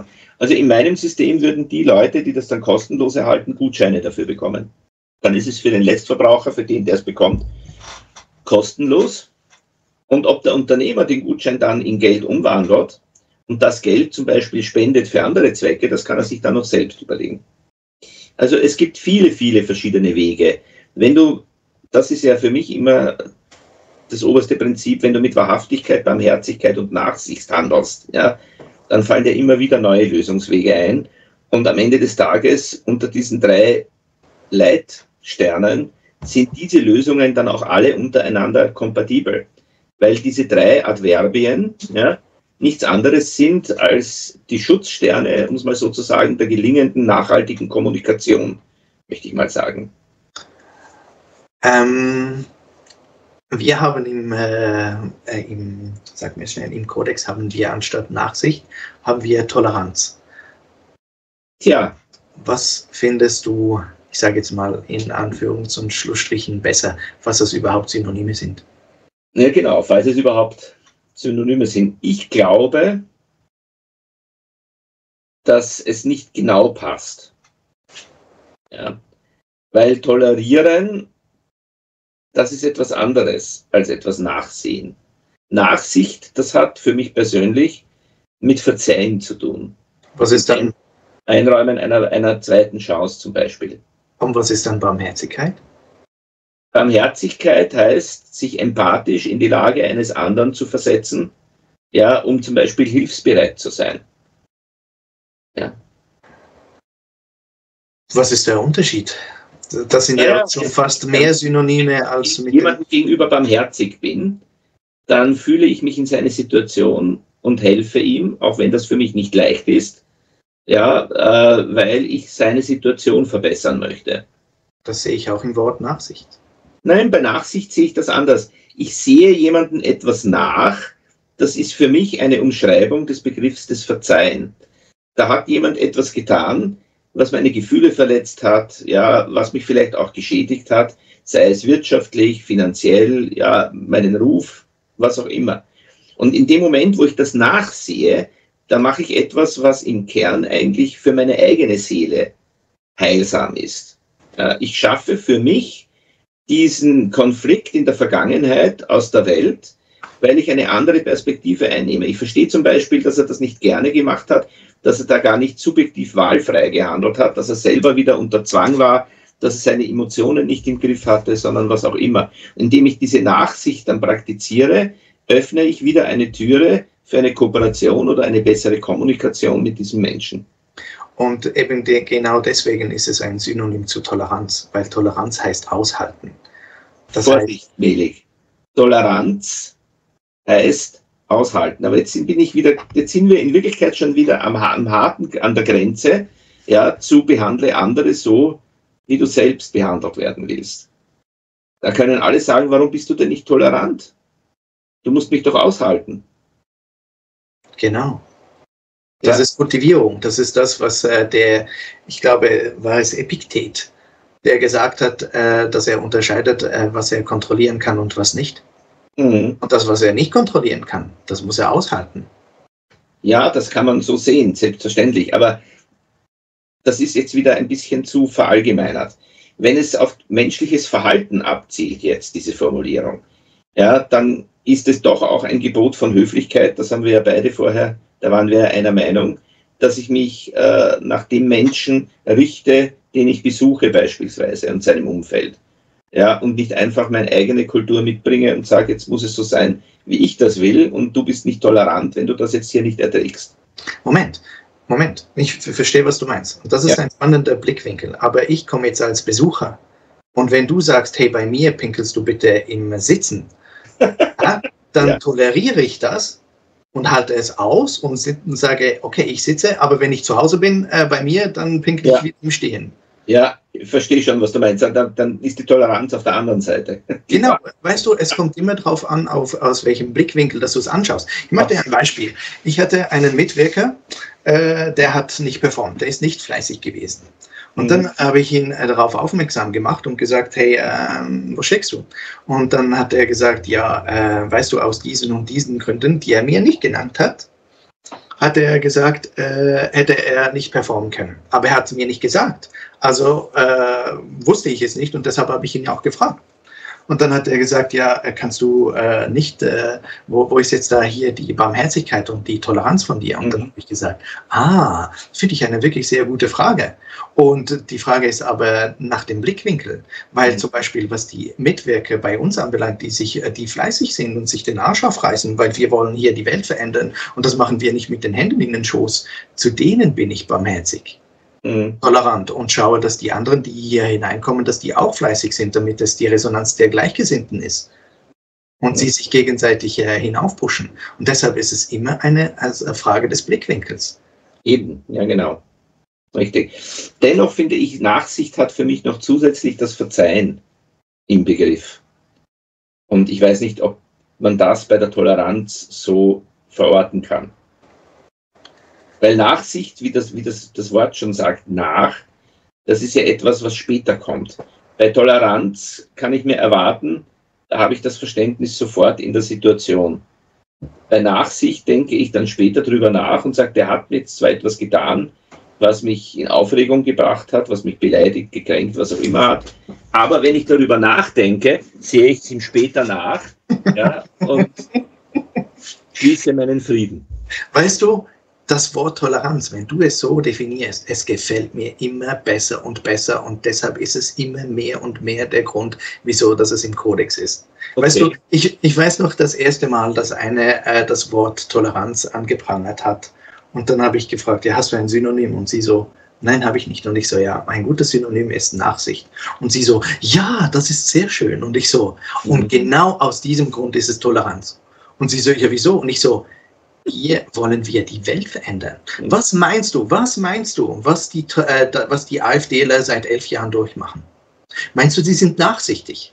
Nein, die müssen ihn jetzt müssen die tolerant sein, wenn sie angespuckt werden, äh, angegriffen werden, äh, diffamiert werden und was weiß ich. Die können nicht warten, bis sie zu Hause sind, wo sie in ihr, in ihr Kissen hinein weinen können und nachsichtig sein. Die müssen es jetzt in diesem Moment sein. Das sind für mich mhm. wirklich sehr vorbildliche, äh, tugendhafte Menschen, die etwas aushalten, weil die anderen, die kriegen alles in den Arsch geschoben. Gerade letztens, ich weiß nicht mehr, wie der Politiker, ich glaube, ah, wie heißt der? Äh, der war viel im Fernsehen, war auch beim, ähm, beim Lanz, bei Markus Lanz. Kupala. Kupala. Ja, genau. Kupala, der ja. hat es wirklich super auf. Ich hoffe, ich finde ihn wieder in, irgendwo mhm. im YouTube-Verlauf. Halt hat gesagt, ja. äh, weißt du, die, die, die, die, die ähm, einfach alle anderen Politiker sagen, dass äh, die, die, die, die Probleme, die die Deutschen jetzt haben, dass das die Schuld der AfD ist. Wie kann das überhaupt, wie kann das irgendwie menschlich möglich sein, wenn alle Anträge, die die AfD gebracht haben, alle niedergeschmettert wurden und ja. abgelehnt wurden? Genau. Richtig. Und das ist es eben. Die müssen das aushalten bis zu dem Punkt, wo sie dann die Mehrheit sind und es dann geschafft haben. Mhm. Und das hat nichts mit Nachsicht zu tun. Und deshalb, ja. ich finde das wirklich ein sehr mächtiges Wort. Ähm, ich verstehe, was du meinst. Ich finde, das ist der einfache Weg. Toleranz mhm. ist ein schwieriger Weg und deshalb ist es der richtige Weg.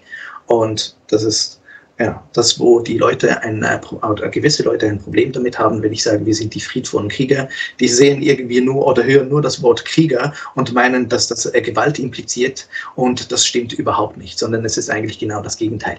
Wenn man eben tugendhaft sein kann, die Wahrheit sagen kann und sich nicht beugt, wenn mhm. man barmherzig ist und, äh, wie soll ich sagen, da, das, da ist das Wort Güte darin, dass mhm. man gütig ist, dass man äh, großzügig ist und so weiter. Und in den schwierigsten äh, Situationen dann auch noch tolerant und anderen den Vortritt geben kann und sagen, ja, du hast recht, du hast recht.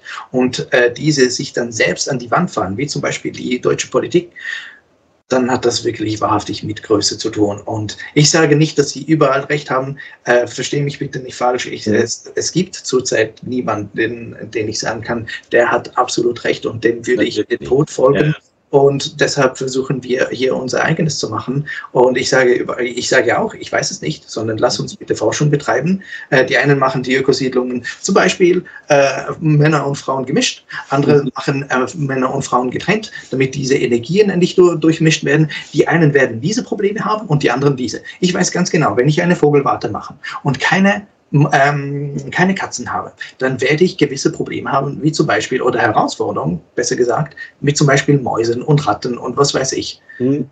Und dann darf ich dort irgendwie ein Pendant finden. Und dann sind wir in der Elektronik und sagen, hey, weißt du was, machen wir vielleicht eine elektronische Katze, die äh, vielleicht keine Parasiten im Garten verschießt. Irgendetwas. Und so äh, werden die Informationen in ein System gesteuert, wo man sich gegenseitig helfen kann und, die, äh, und wir gemeinsam äh, nicht nur die Moral, sondern auch die Qualität erhöhen können. Ja, ich verstehe, was du meinst, ja. Ja, also, wie gesagt,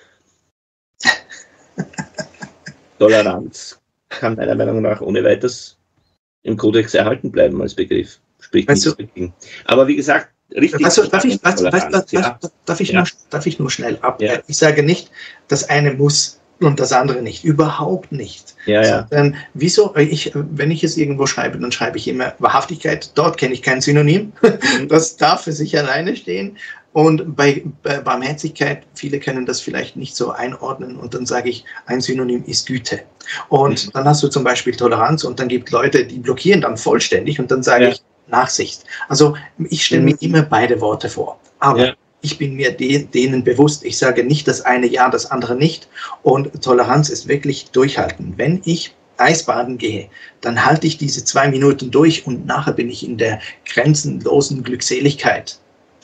Und das ist das, was ich vermitteln will, dass mhm. man durchhalten darf, wenn es mal streng ist und nicht äh, nachsichtig, so wie es du, ich sage nur, das ist nur so, wie es du erklärt hast. Vielleicht erklärt jemand äh, Nachsicht anders.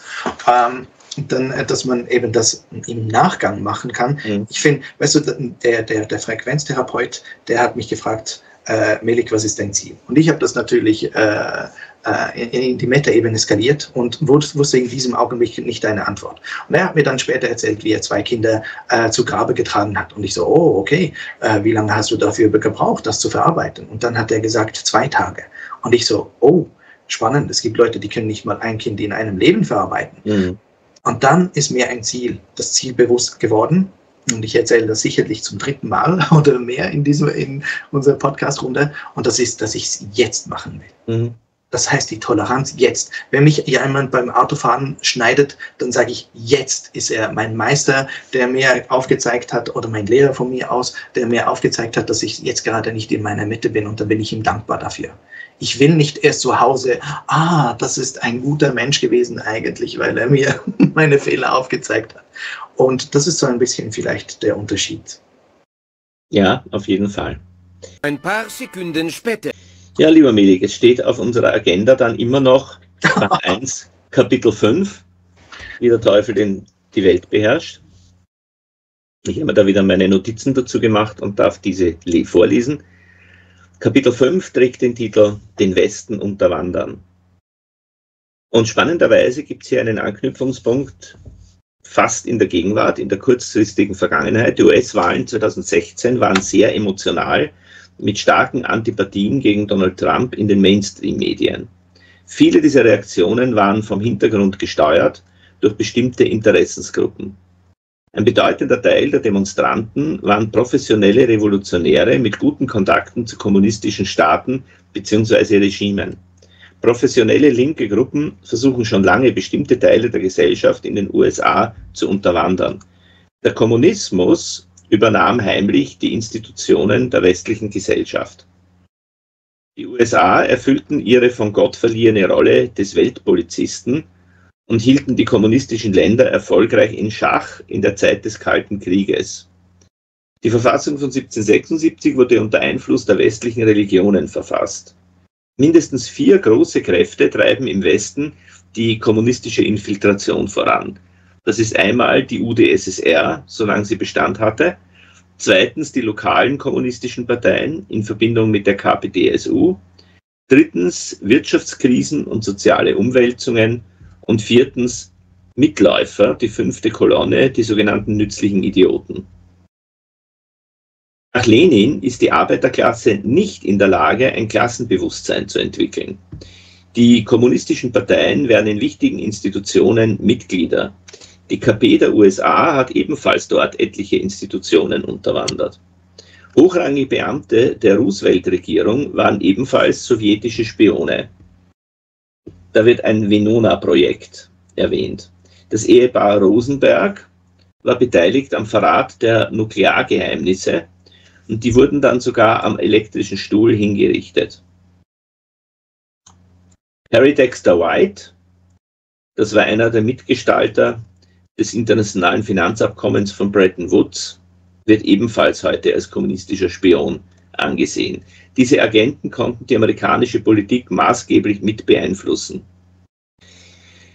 Da gab es einen Geheimdienstmitarbeiter und Überläufer mit dem Namen Besmanov. Und der hat erzählt, Tätigkeiten wie bei James Bond sind sehr weit von der Realität entfernt. Der Großteil besteht in der ideologischen Subversion. Und das ist erstens die Förderung der Demoralisierung, zweitens die Erzeugung von Chaos, drittens Krisen zur Auslösung von Revolution, Bürgerkrieg oder Invasion und viertens die Kontrolle des Landes durch die Kommunistische Partei unter dem Titel Normalisierung. In drei Bereichen erfolgen diese Angriffe im öffentlichen Denken, bei der politischen Macht und im öffentlichen Leben. Das Konzept der Gleichheit wurde gezielt dazu manipuliert, um Unruhe zu stiften. Das lief über die Förderung des Aktivismus bei gleichzeitigem Niedergang der Wirtschaft. Das führt dann natürlich zur Krise, diese dann zur Invasion oder Revolution. Die erste Stufe in dieser Entwicklung dauert meist 15 bis 20 Jahre. Innerhalb dessen kommt es zur Ausbildung einer neuen Generation. Die zweite Stufe dauert dann nur zwei bis fünf Jahre und die dritte Stufe drei bis sechs Monate. Joseph McCarthy wird heute als Beispiel politischer Verfolgung verteufelt. Ähm, das ist eine Folge der kommunistischen Unterwanderung. Am 24. Oktober 1929 gab es den Börsencrash, der sich beginnend beim Finanzsektor auf die ganze Wirtschaft ausgebreitet hat und keine Nation im Westen verschont hat. Die Arbeitslosigkeit in den USA stieg damals auf 25 Prozent und Roosevelts New Deal wirkte dann bis zum Ausbruch des Zweiten Weltkriegs. Der New Deal wird heute von etlichen Autoren allerdings als Fehler betrachtet. Die Konsequenzen der sogenannten Great Society waren erstens die Abhängigkeit der Menschen von Sozialhilfe, zweitens der Zerfall der Familie und die Begünstigung von Alleinstehenden. Progressive waren in dieser Entwicklung immer Linke, also Kommunisten. Der Sozialstaat förderte die Faulheit und die Abhängigkeit von der Regierung. Atheismus und Materialismus hüllten gleichzeitig die Kultur aus und die westliche Kulturrevolution der 60er Jahre zielte auf die Zerstörung religiöser und traditioneller Werte. Die Frankfurter Schule strebte nach politischer Macht und 1935 siedelten diese Theoretiker in die USA und wurden an der Columbia University aufgenommen.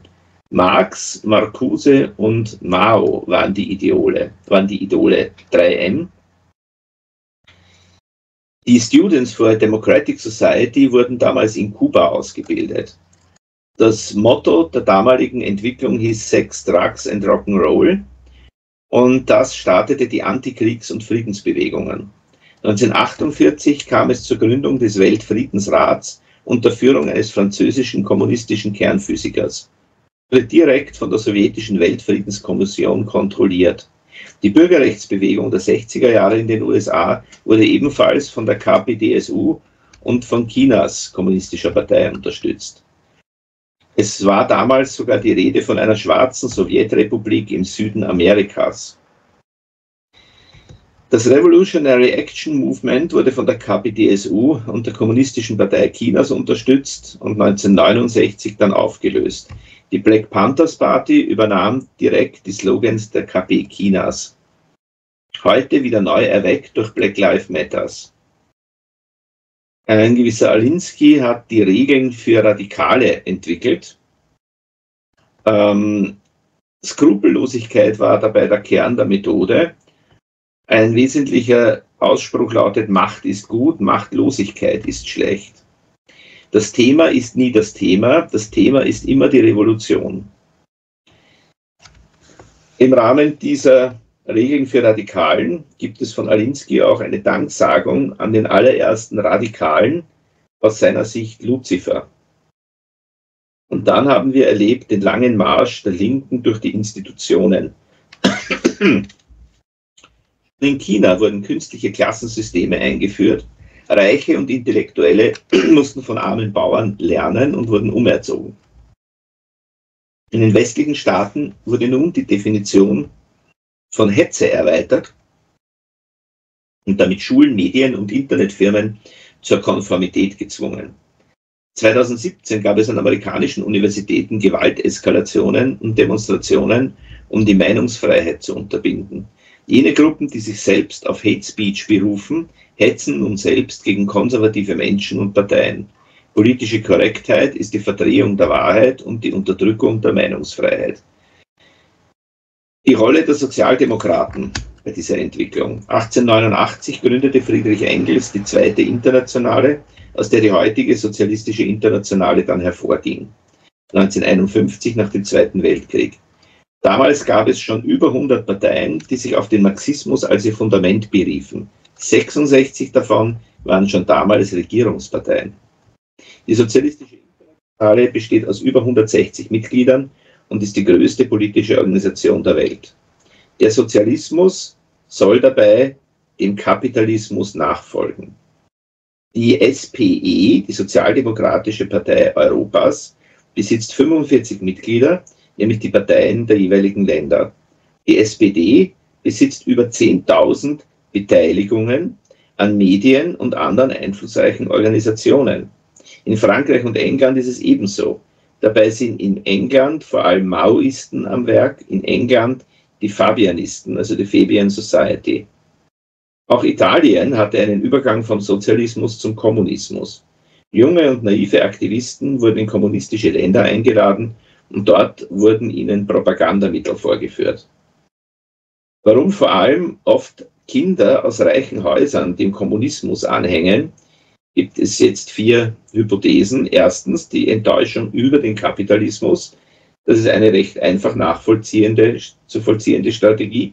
Zweitens der Glaube an eine materialistische Lebensphilosophie. Das ist dann die zweite Falle. Also die beiden in Kombination sind schon einmal geistig sehr mächtig. Dann eine intellektuelle Überheblichkeit im Alter von 18 bis 20 Jahren. Jungen Wilden, also die, die glauben, alles besser zu wissen als die Generation der Väter oder der Großväter. Und last not least, unerfüllte religiöse Bedürfnisse, das geht wieder unmittelbar auf Punkt 2 zurück, denn in der Schule wird die Evolutionstheorie indoktriniert.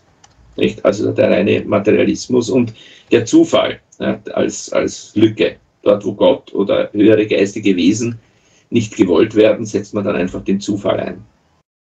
Arroganz und Egozentrismus sind aber wesentlich für diese politische Ausrichtung. Blinder Glaube an die Wissenschaft, Scientismus, führt dann zu dieser politischen Ideologie. Und die globale Erhöhung der Moral wäre natürlich ein wirksames Mittel dagegen. Und dabei ist, und das ist der Schluss dieser Zusammenfassung dieses Kapitels. Ein paar Sekunden später. Und ich muss ganz ehrlich sagen, das bringt mich wieder unmittelbar zu dieser Scheinwissenschaft der normativen Wissenschaften und damit letztlich dann auch wieder zur reinen Rechtslehre von Hans Kelsen. Also in, diesem, in dieser Entwicklung, wenn du dir vorstellst, gerade in den 20er und 30er Jahren, ja, war der am meisten tätig, hat am meisten publiziert und damit weltweit Wirkungen erzielt. Das ist e exakt dieser Zeitraum, ja, wo diese ganzen linken Bewegungen in den sogenannten Demokratien, heute wissen wir den Scheindemokratien, ihren Einfluss zementiert haben. Und das hängt natürlich auch wieder mit dieser Wissenschaftsgläubigkeit zusammen. Nicht? Wenn ich glaube, der Mensch ist eigentlich der Übermensch. Nicht? Dem Nietzsche hat man das ja letztlich immer wieder vorgeworfen, lustigerweise, nicht, dass er den Übermenschen gepredigt hat. Das stimmt aber nicht. Den Übermenschen, den predigt, den predigt zum Beispiel ein Hans Kelsen, wenn er sagt, nur positive, nur positives vom Menschen gesetztes Recht ist für ihn Recht. Er glaubt an kein göttliches Recht und an kein Naturrecht. Also diese, diese Rechtsdefinitionen, dass alles immer nur vom Menschen ausgeht und der die Krone der Schöpfung ist, das hat einfach keinen Bestand. Nicht, weil wir alle vom Affen abstammen, sondern weil es eben durchaus höhere geistige Wesen geben darf. Völlig egal, ob wir jetzt in der Lage sind, die unmittelbar wahrzunehmen oder nicht, in Ausnahmesituationen des Lebens oder vielleicht erst nach unserem Ableben. Ja, aber wir dürfen uns auch kulturhistorisch auf das berufen, was andere vor uns schon erlebt und in Schriften hinterlassen haben und haben einfach nicht so arrogant zu sein, das Ganze nur als Märchen abzutun. Das ist mein mein Schlussstatement zu diesem fünften Kapitel. Du hast ja vielen lieben Dank für das äh, Zusammentragen. Äh, du hast ja noch andere Artikel äh, geschickt, wo es darum ja. geht, warum der atheistische internationale Sozialismus eine Geißel der Menschheit ist. Richtig, ähm, ja. Wird das mit diesem Artikel unterstrichen, was du zu 100 Prozent. Ja, zu 100 Prozent. Aber es kommt dann noch etwas dazu. Und das ist, das macht die ganze Geschichte für mich sehr verdächtig. Für die Kleingläubigen, sage ich jetzt einmal, für die einfachen Menschen, die sich jetzt nicht in der Tiefe mit diesen geschichtlichen Abläufen beschäftigen wollen oder beschäftigt haben, mag es so scheinen, als stünde dahinter tatsächlich eine politische Ideologie. Nicht dieser berühmt-berüchtigte freie Markt, den wir mit der Lupe suchen dürfen, ja, und der so frei nicht ist und der seinen Titel auch gar nicht verdient, weil ein Monopol und eine vollkommene Konkurrenz diametral unterschiedliche Dinge sind, die dann hier trotzdem mit demselben Begriff benannt werden. Ja. Also die Enttäuschung über den Kapitalismus, meiner Meinung nach, ist Programm. Ja. Wenn, die, wenn die Kapitalisten sagen, der Kapitalismus ist ja jetzt gar nicht das Problem, weil der wurde ja noch nie wirklich verwirklicht. Was sie vielleicht im Kern damit ausdrücken wollen, ist die Freiheit die Freiheit, die menschliche Freiheit. Denn der, das ganze libertäre ähm, Konzept beruht ja auf menschlicher Entscheidungsfreiheit. Ja? Und das haben wir natürlich in einem umgesetzten Sozialismus und Kommunismus nicht. Wir haben es aber natürlich beim heutigen Kapitalismus, wo ich überall Instanzen habe. Ich habe Wirtschaftsprüfer, ich habe Steuern, ich habe Finanzämter, ja, ich habe Gewerbe und sonstige rechtliche Vorschriften, mit denen ich permanent überwacht und überprüft werde, habe ich das im Kapitalismus wieder nicht. Das heißt, eine wirklich freiheitliche Gesellschaftsordnung haben wir nirgends. Das stimme ich, da stimme ich mit den Kapitalisten überein und auch den Anhängern der österreichischen Schule, nicht? Die sagen, Kapitalismuskritik ist jetzt nicht ganz korrekt, denn den wirklichen Kapitalismus hat es nicht gegeben. Wenn die Kommunisten das sagen und sagen, den wirklichen Kommunismus hat es nicht gegeben, dann muss ich dort allerdings die Frage stellen, ja, wie stellt man sich den denn dann eigentlich vor? Ja. Ja, weil, weil beim Kommunismus, der lebt ja vom Dogma und von den strikten Regeln und von der Bestrafung und von der zwanghaften Umerziehung. Und deswegen muss ich halt eines sagen, ich richte mich immer ganz gezielt neben jede Vorstellung eines Zwangs. Ich bin im Kern immer noch ein Anhänger des Voluntarismus, wenn Menschen nicht aus eigenem in der Lage sind, ja, die höhere Qualität einer einfühlsamen Kommunikation zu verstehen, dann sind sie ganz offensichtlich selbst für eine solche Gemeinschaft nicht reif. Dann dürfen sie, wie wir gesagt haben, gerne auf eine Warteliste, ja, dann dürfen sie sich noch eine Zeit lang weiterentwickeln, bis sie es vielleicht verstanden haben oder bei einer anderen Gemeinschaft ja, Mitglied werden. Ähm, verstehe ich das richtig? Also du bist auch nicht für Libertarismus. Nein, sondern nicht in der Form, wie es heute gepredigt und beschrieben wird. Ganz sicher nicht. Selbstverständlich müssen wir uns bestimmte Regeln setzen, aber diese Regeln, die sollten jetzt nicht als Zwangskorsett von Haus aus einmal gleich für alle gesetzt werden. Die dürfen sich diese Menschen und auch die kleineren Gemeinschaften sehr gerne selbst geben. Wenn sie das tun, muss es unbedingt in transparenter, nachvollziehbarer Form sein. Und ob das jetzt nach einem Mehrheitsprinzip passiert, darf kritisch hinterfragt werden. Auch von diesem, von diesem Mehrheitsprinzip der Demokratie halte ich nicht sehr viel. Durchaus halte ich aber einiges von der Schwarmintelligenz. Ja, wenn man sagt Schwarmintelligenz für die Abschätzung bestimmter Konsequenzen von Entscheidungen oder sonst was, ja, da hat sie wahrscheinlich ihre Berechtigung. Meiner Meinung nach, das habe ich ja schon oft gesagt, entscheidet immer nur der Betroffene. In jedem Fall. Deswegen möchte ich den Freiheitsgrad der Individuen maximal erhöhen, der selbstverständlich dann an Grenzen stößt. Solange wir noch Mangel haben an Grund und Boden oder an, an, an physischen vorhandenen Gütern, ja, wird dort schnell eine Grenze gefunden sein, die wir aber dann nach Kräften erweitern mögen. Ja, damit wir die Individuen befreien von ihren scheinbar naturgegebenen Einschränkungen, die so naturgegeben gar nicht sind, wenn wir jetzt an die technische Umsetzung freier Energie oder sowas denken. Ne? Mhm.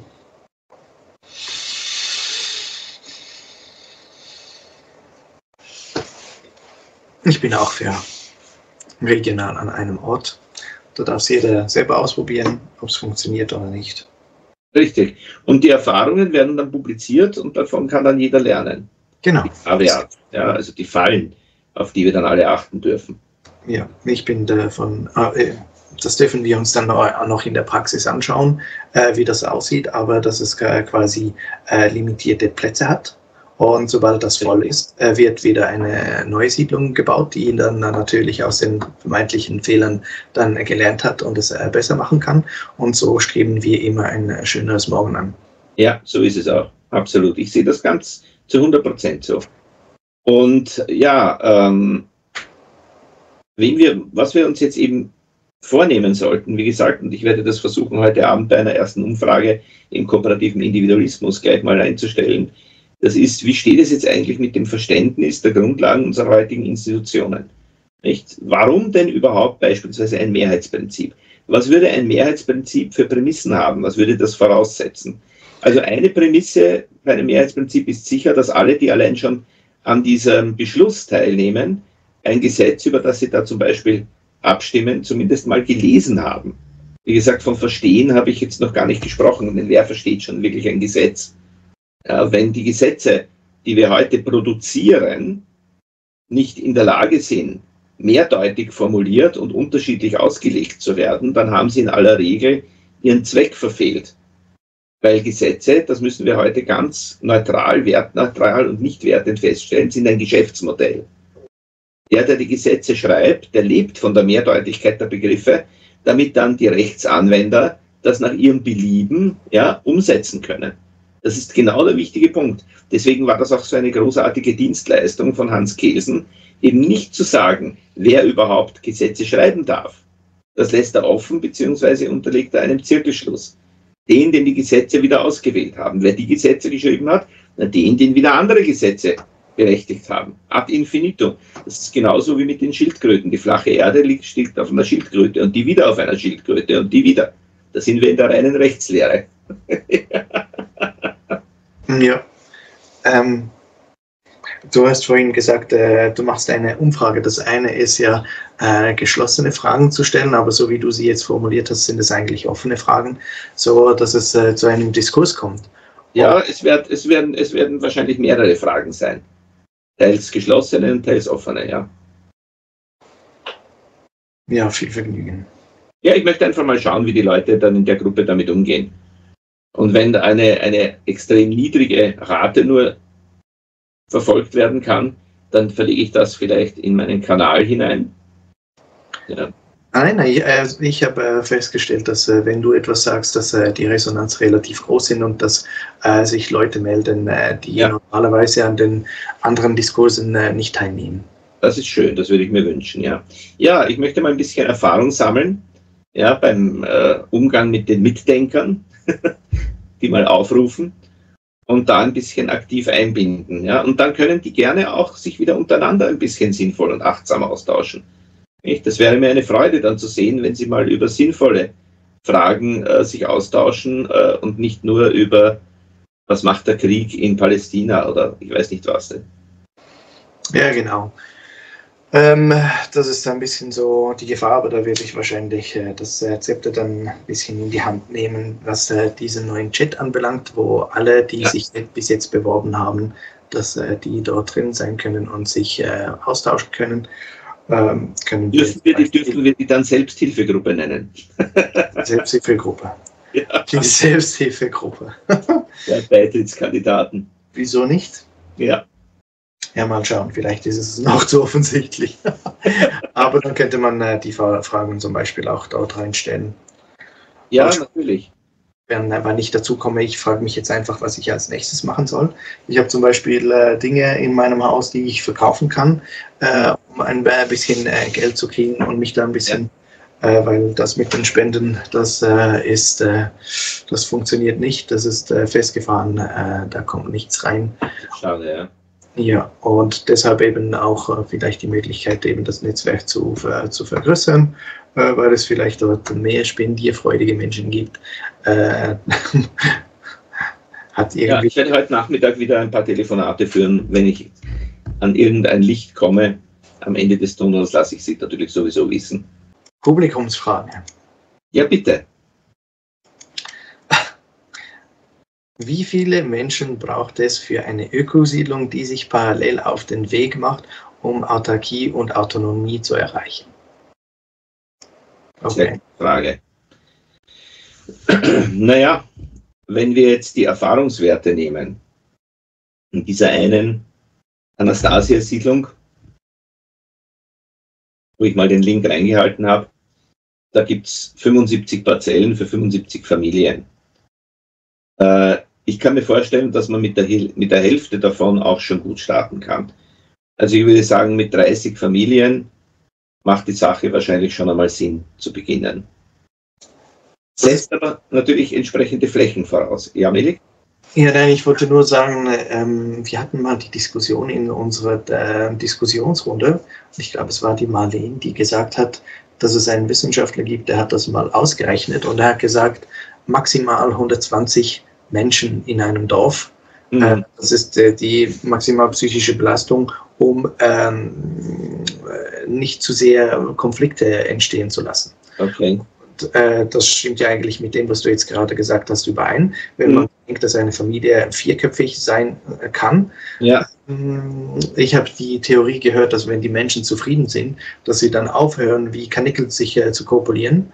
Äh, und ähm, eher, dass äh, die Bestände zurückgehen, anstatt dass sie mehr werden.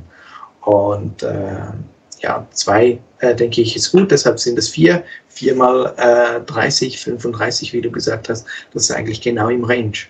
Ja, ja, das ist, wie gesagt, einfach nur aus Bauchgefühl heraus. Und wie du auch erwähnt hast, ich setze voraus, dass diese Menschen, wenn sie räumlich in der Nähe wohnen, vielleicht auch Kontakt suchen. Die werden sich dann vor Ort auch treffen wollen ja, irgendwelche Feste feiern, ja, oder gemeinsame Ausflüge machen oder den Garten pflegen, was auch immer, ja. Und das kannst du natürlich jetzt nicht mit 2000 Leuten vor Ort, ja. Aber selbstverständlich gibt es auch die Alternative, Das Network State. Und da ist es eigentlich egal, da gibt es keine Obergrenze. Ein Network State, den können wir theoretisch auch gleich mit einer Million von Leuten beginnen. Aber ich denke, dass das sowieso integriert ist in diesem äh, CapNet, äh, da ja sowieso alle mitmachen. Absolut, absolut, lieber Melik. Also wenn das eine startet, startet meiner Meinung nach zeitgleich auch das andere. Egal, was als erstes beginnt. Ja, ob wir rein in der Technologie, auf der Wissens- und auf der Kultivierungsebene uns als erstes vernetzen oder ob wir vorher mit, mit Flächen ähm, bedacht werden, äh, die wir verantwortlich nutzen dürfen, um dann auch räumlich, lokal zentriert zu starten. Das wird man alles noch sehen. Aber wir werden bei, beim, beim räumlichen Start das CapNet mitziehen und viele, viele virtuelle verteilte Mitglieder. Und ohne den Flächen werden wir nur im Netz starten und dann kommen die Flächen halt dann hinterher nach. Also das eine zieht das andere mit sich. Ähm, denn wie gesagt, das Allerwichtigste wird sein Transparenz der Regelsysteme. Ja, dass wir das wirklich nach außen nachvollziehbar anordnen in einer Syntax oder in einer grafischen Darstellung, was auch immer, die eben nicht okkult ist, nicht heute, wie der okkulte Staat, unter dem wir alle leiden. Ja, wie gesagt, meine, meine Formulierung für Deep State. Okkult ist nichts anderes als verborgen, ja, nicht auf den ersten Blick sichtbar. Und da muss man sich halt immer die Frage stellen, wer will denn das? Wer will denn, dass die Funktionsweise des Staates, die tatsächliche, richtige, ehrliche, vor der Bevölkerung verborgen bleibt? Meiner Meinung nach, es können nur die sein, die dieses System missbrauchen. Ich, ich muss dir ganz ehrlich sagen, ähm, viele reden ja heute von Operettenstaaten und Bananenrepubliken. Ja, vor allem in, in Deutschland, ja, da gibt es schon ganze Logos, ja, wo Banane und dann das deutsche Flagge dann draufgemalt ist und ähnliches. Äh, für mich ist das aber in Österreich ganz genauso. Wir haben möglicherweise auch im Dialog schon mal kurz darüber gesprochen. Wir haben ja aktuell einen Präsidenten des Nationalrats, einen gewissen Herrn Sobotka von der ÖVP, von der Volkspartei. Und dieser Mensch hat eigentlich nach dem Bundespräsidenten das zweithöchste Amt im Staat. Und gegen den gibt es etliche Beschuldigungen und mittlerweile auch einen Untersuchungsausschuss. Und das Spannende an der Situation ist, dass sich diese ganzen Volksvertreter nicht entblöden, ihn selbst zum Vorsitzenden des Untersuchungsausschusses gegen sich zu machen. Nein, wirklich? Ja, in der Tat. Er ist das der Vorsitzende in Österreich schon. In Österreich schon. Und weißt du, was die Argumentation in den öffentlichen Medien war? Jetzt, wird, jetzt kommt der lustigste Punkt. Ja, wir können nicht einfach einen Präsidenten des Nationalrats seines Amtes entheben, denn das ist in der Vergangenheit, in der Geschichte, in der Ära Dollfuß auch passiert. Das ist dann immer der erste Schritt zur Diktatur. Das heißt, wir nehmen jetzt einfach einen Diktator, den wir schon haben, ja, weil wenn wir den nicht hätten, dann käme Diktatur. das ist wie die Ausrede mit, äh, mit den Impfstoffen gewesen. Es wäre ja schlimmer geworden. Ja, richtig, ganz genau. Das sind immer diese merkwürdigen Argumentationen, die, wenn du nur ein Minimum Hausverstand hast, ja, sofort auseinanderfallen. Ja, ich verstehe das nicht. Das ist, äh, äh ich habe gerade ein äh, Video geteilt von der Christine Anderson im EU-Parlament. Ja. Das ist ja die AfDlerin, die sich da äh, in die Wogen äh, schmeißt. Sehr verdient, diese Frau. Ja, absolut ja. verdient, ja. Ja, genau. Ich habe sie ja auf die Liste genommen. Mit ihr hätte ich wirklich äh, gerne mal ein Gespräch. Wäre schön, ja, keine Frage, ja. Und da wird ihr das äh, Mikrofon abgedreht, weil sie sagt, dass der, die von der Leyen, die müsste sowieso, äh, so, nein, sofort abgewählt werden, weil äh, ja jetzt eine Untersuchung äh, stattfindet wegen diesen genau. äh, Pfizer-Käufer und da wird ihr das Mikrofon abgedreht. Und dann weißt du, wieso. Eigentlich. Also da würde ich ehrlich gesagt gegen den, der das macht, sofort Strafanzeige einbringen. Genau. Das kann ja wohl nicht wahr sein, Nein. weil die hatte das Recht, dort öffentlich zu reden. Genau, dafür ist sie da. Ja, ja, aber das, das ist das ist wirklich ein Skandal. Aber das unterstützt die Hypothese vom okkulten Staat. Ne? Das sind genau die Dinge, die nach außen niemand wissen darf. Genau. Und deshalb, Schön, dass da wenigstens das jetzt offensichtlich wird und transparent. Ah, aber nein, es ist überall offensichtlich. Weißt du, mit diesen 2000 Mules, der Präsident Biden, das ist ein unrechtfertiger Präsident. Der darf gar nicht da. Wieso wird das zugelassen? Ich verstehe es nicht. Weißt naja, du, Felix, wenn, wenn es in den Q-Kanälen ja. heißt, ja, das Militär, das wird dann kommen. Und weißt du, ich verstehe es, dass sie dann kommen und sagen, ja, weißt du, äh, die bereiten alles vor, damit es offensichtlich ist. Äh, Operation äh, Warp Speed ist, weil äh, sie sonst ja. ein paar Jahre später äh, gekommen wären und dann wäre es unauf, unaufhaltsam gewesen.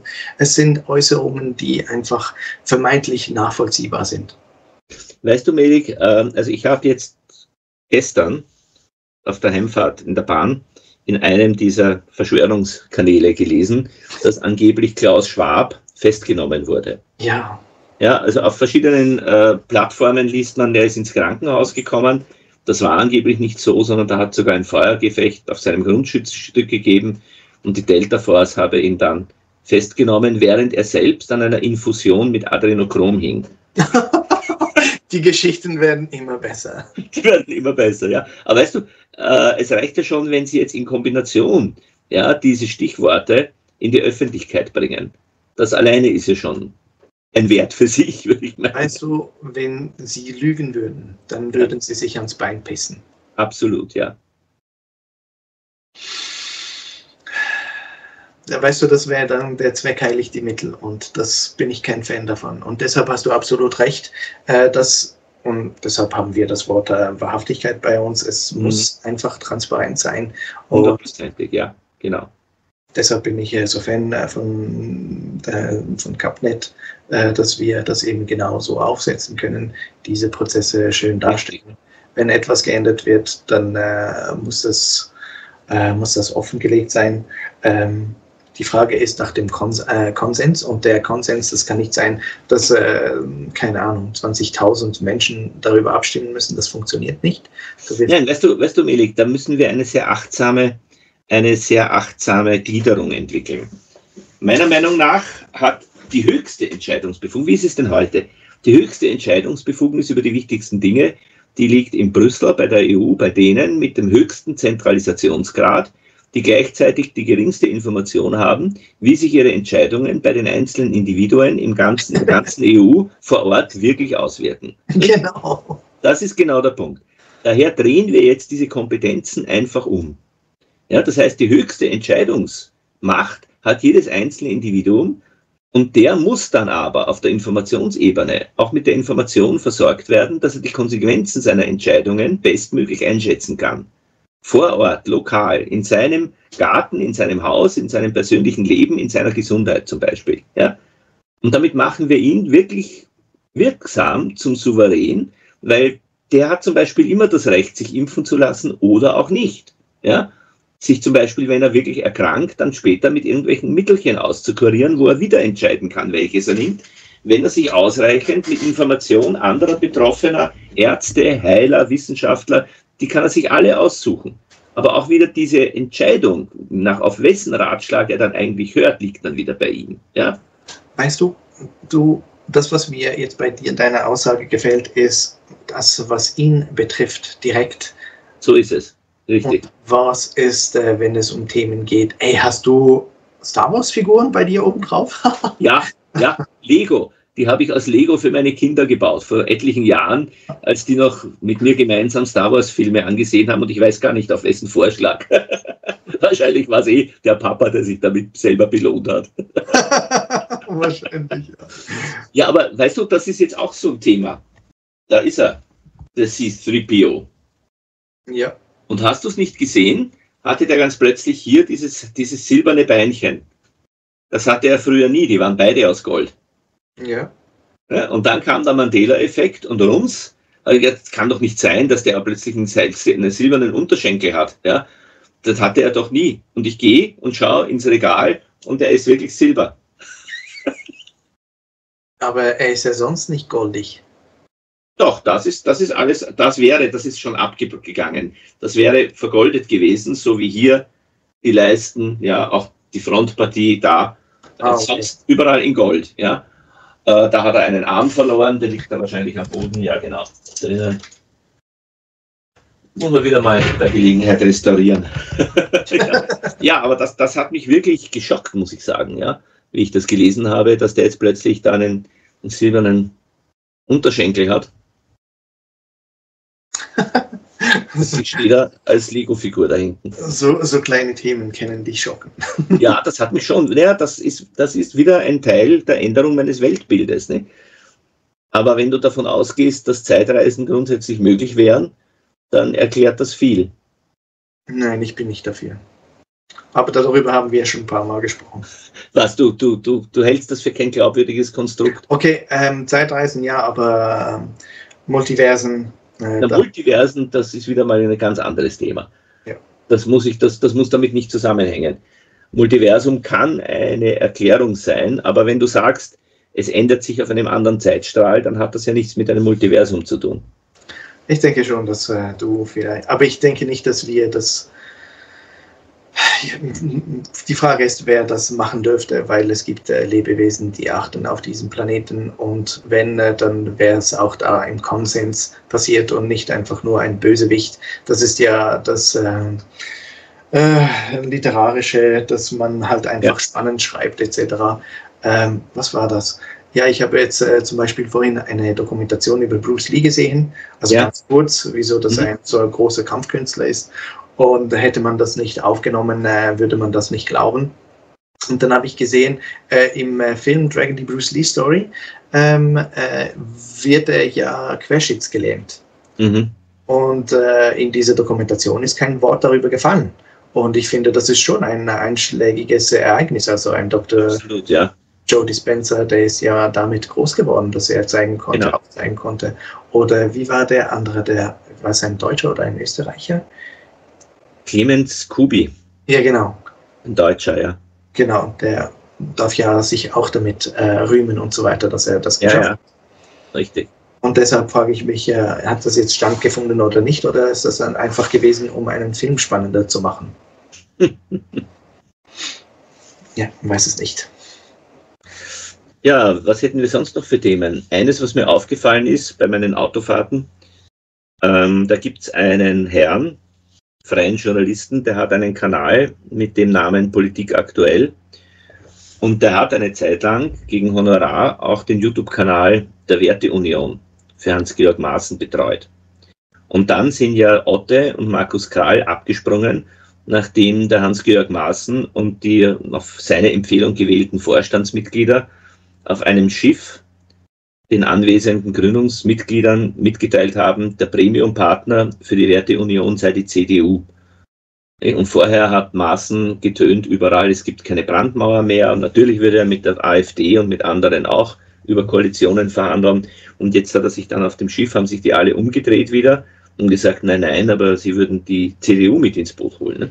Und das macht natürlich gar keinen Sinn, weil der Großteil der Mitglieder in der Werteunion sind ja die, die von der CDU enttäuscht weggegangen sind weil sie eine neue konservative Alternative gesucht haben.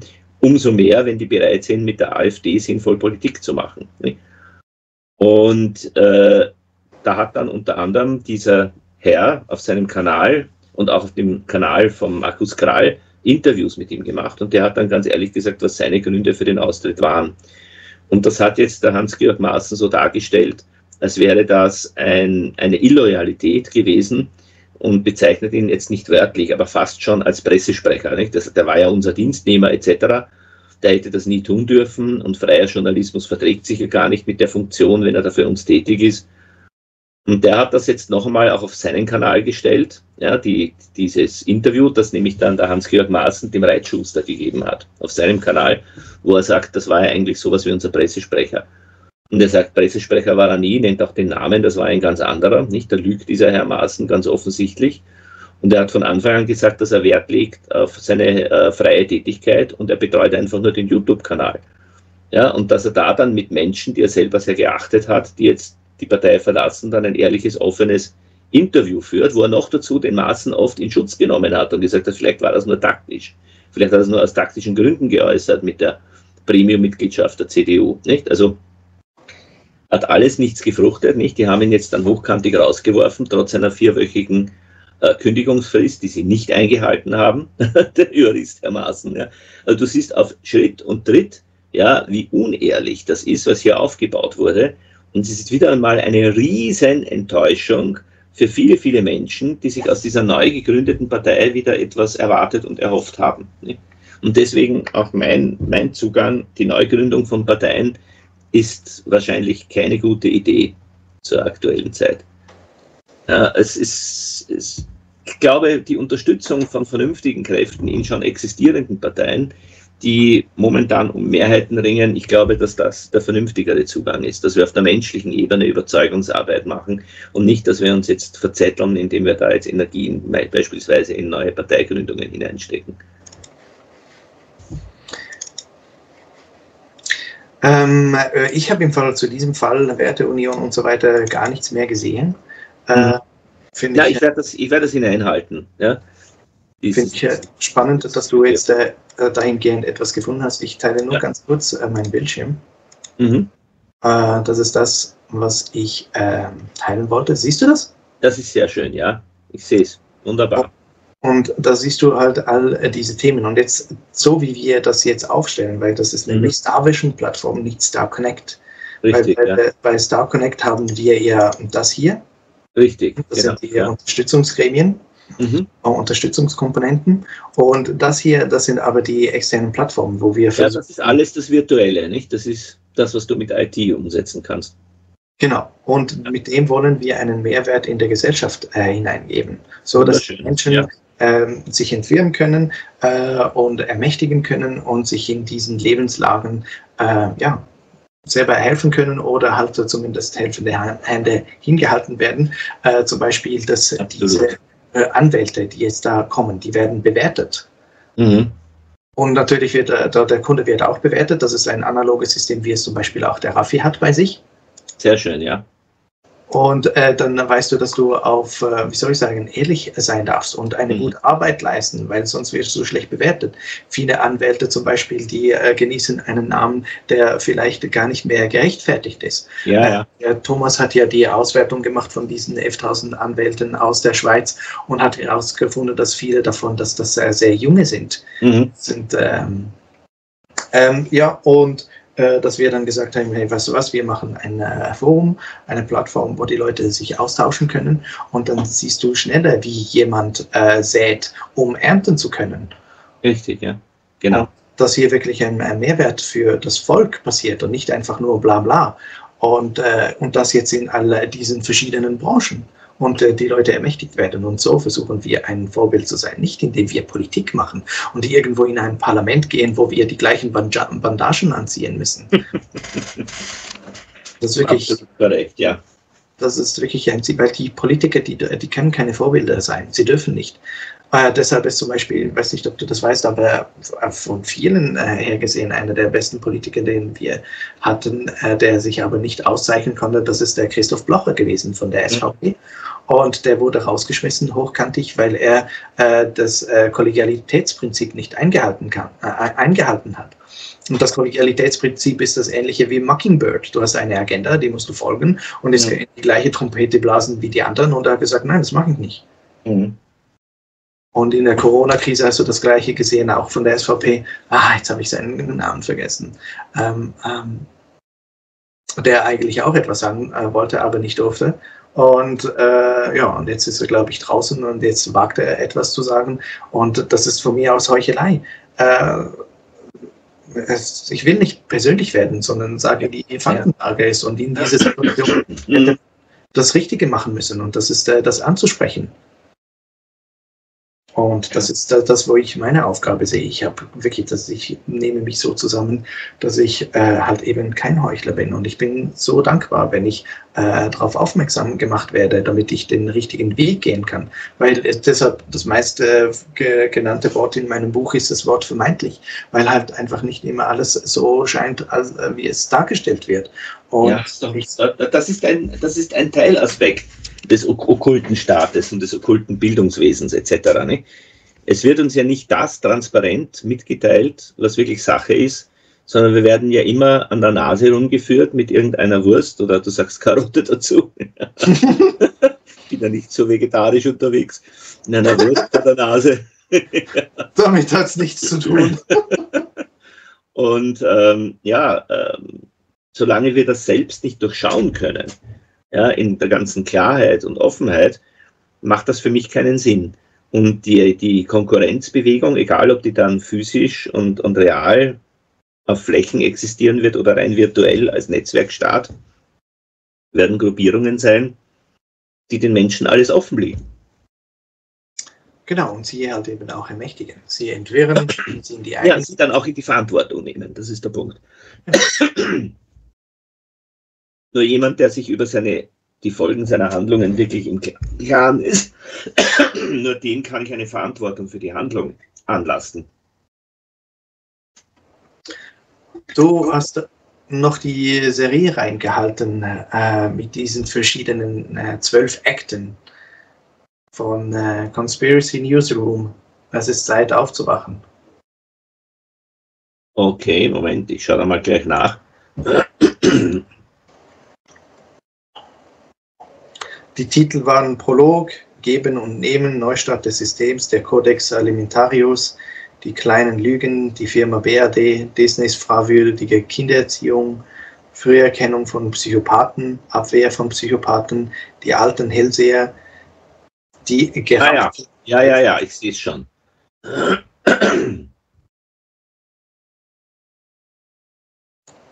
Aber weißt du, gerade die Themen, Früherkennung mhm. von Psychopathen und Abwehr von Psychopathen, das ist genau das, was ich ja integriert habe äh, mit äh, den Bewerbungsgesprächen und dem Erkennen von äh, Psychopathen. Äh, zumindest in der Anfangsphase und später sie dann äh, das System, weil es dann eben positiv ist, diese dann hineinzunehmen und zu schauen, wie diese Psychopathen darauf reagieren, weil sie halt eben auch Aufmerksamkeit und Anerkennung suchen und dann mal schauen, ob sie sich dann positiv verhalten. Das ist korrekt. Ja, ja. Ja, weißt du, ähm, das haben Leute, die jetzt Aufklärer sind, äh, zusammengetragen und das ist teilweise durchaus wertvolles Wissen. Ja, also Leute, die mit dem noch gar nicht in Kontakt kamen, die haben da meiner Meinung nach einen recht sinnvollen Schnelleinstieg. Äh, äh, ich will mich nicht immer wieder wiederholen äh, und das Ganze selbst irgendwo reinstellen oder womöglich auch recherchieren müssen. Das wäre mir auch zu viel. Und da bin ich dankbar, wenn das andere schon getan haben. Und das kann sich jeder anschauen, dann muss er selbst wissen, was er damit in seinem Leben anfängt. Auch das kann ich den Leuten jetzt nicht vorschreiben. Ich kann auch nicht sagen, äh, zerbrecht euch den Kopf, ob die Erde flach oder rund ist oder ob sie ein Torus ist und ihnen hohl. Ja? Das, sind, das sind Sachen, die Leute, die es interessiert und die da einen inneren Zugang dafür haben, die machen das sowieso. Ja, aber mit welcher Gewichtung, wie viel Zeit sie der Fragestellung dann wirklich widmen und was ihre Quellen sein dürfen, das ist dann ihre Entscheidung.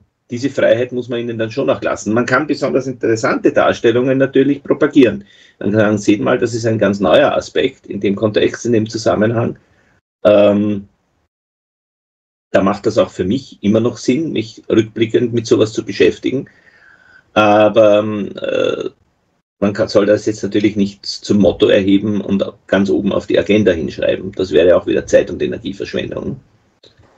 Ja, irgendwann mal weißt du, wo darfst du äh, zum Punkt kommen, und da komme ich immer wieder dazu, wenn ich mich irgendwelchen äh, Kanälen und so weiter verehre, äh, wo ich dann äh, sehr schnell in die Praktikabilität komme. Was ja, nützt das? Wie kann ich das äh, ummünzen, dass, äh, dass es mir dienlich ist? Weil irgendwann mal, letztens habe ich auch wieder einen Film gekriegt und habe gesehen, um was es geht, und da habe ich gesagt, nein, ich kenne das schon, ich muss, muss das jetzt nicht nochmals anschauen, sondern ich setze es bereits um mit dieser ganzen Star Connect Vision und so weiter.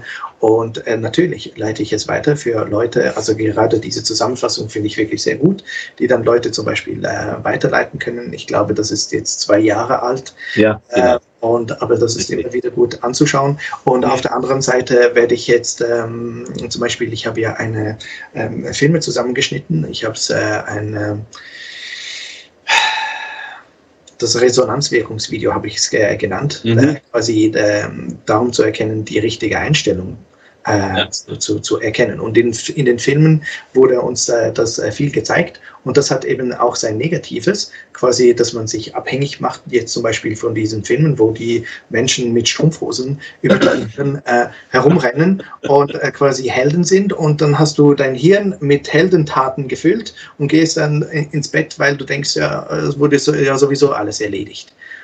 Und das ist eben schade. Gerade diese Filme, die schaden uns so sehr, weil die Leute dann halt eben nicht mehr heroisch sind, sondern jemand mhm. das machen lassen. Äh, aber das äh, Dopamin haben sie trotzdem erhalten. Ähm, kennst du eigentlich den Film Boss Level? Nein. Nein? Das habe ich jetzt vor ein paar Tagen, habe ich mir das angeschaut, wie meine Frau schon zu Bett gegangen ist, schon eingeschlafen ist, Stunde 40 Minuten, also nicht allzu lang. Ist ein recht lustiger Hau drauf Film, so ein bisschen äh, nach dem Motto und ewig grüßt das Murmeltier. Da ist auch jemand in einer Zeitschleife gefangen und permanent äh, bestimmte Bösewichte trachten ihm immer nach dem Leben und innerhalb von einem Tag stirbt er dann immer. Also sie erwischen ihn immer irgendwo. aber äh, es ist, er ist schon gewohnt und er kann damit gut umgehen, ja, weil der weiß, am nächsten Tag wacht er sowieso wieder an derselben Stelle auf. Äh, ich wünschte, ich wäre auch mal in einer solchen Schleife äh, gefangen, weil ich finde das wirklich sehr spannend. Edge of Tomorrow mit äh, Tom Cruise finde ich Weltklasse. Richtig, ja, ja, genau. Ja, ja. ja, also diese Spielereien mit der Zeit, die sind schon teilweise attraktiv. da kann man schon viel Spaß damit haben. Ja, Wenn du möchtest, dann, dann, dann schicke ich dir in unserem Chat den, den Film hinein. Ich habe den noch als MP4 wo. Ähm, wahrscheinlich wirst du ihn äh, nicht in so einer guten Qualität haben, oder? Da bin ich mir nicht sicher. Urteile selbst. Ich kann ihn dir schicken und du kannst ihn in besserer Qualität suchen, wenn du ihn wo für eine Boss-Level heißt einfach. 2021. Ja.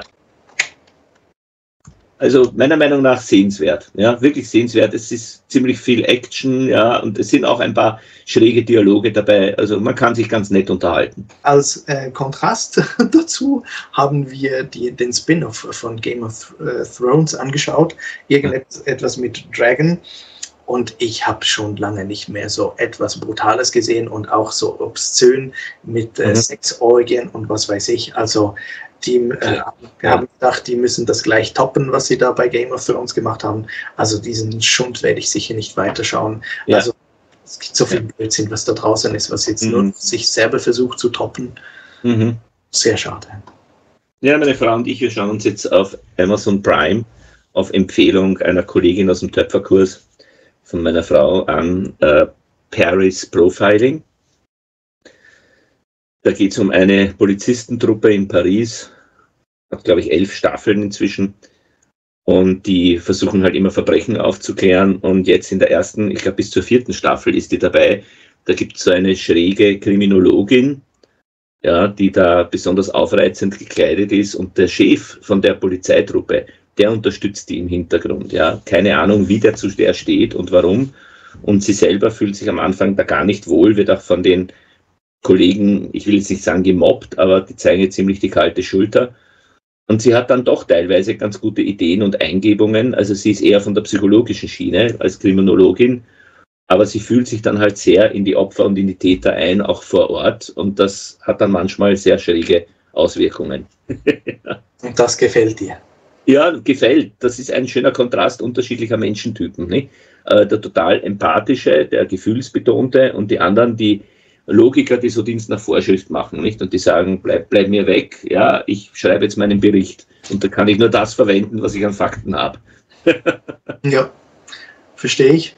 Ähm, ich persönlich, äh, ich hatte eine Serie, die ich geschaut habe, aber die letzten Tage, die waren so extrem, wo ich so viel überlegen musste und Paradigmenwechsel ja. und was weiß ich, dass als ich dann äh, vor den Bildschirm ging und etwas gegessen habe, dass ich halt gesagt habe, hey, weißt du was, äh, ich muss wirklich etwas leicht verdauliches nehmen, deshalb mhm. schaue ich derzeit äh, SpongeBob Schwammkopf und, äh, und da kann ich herrlich entspannen.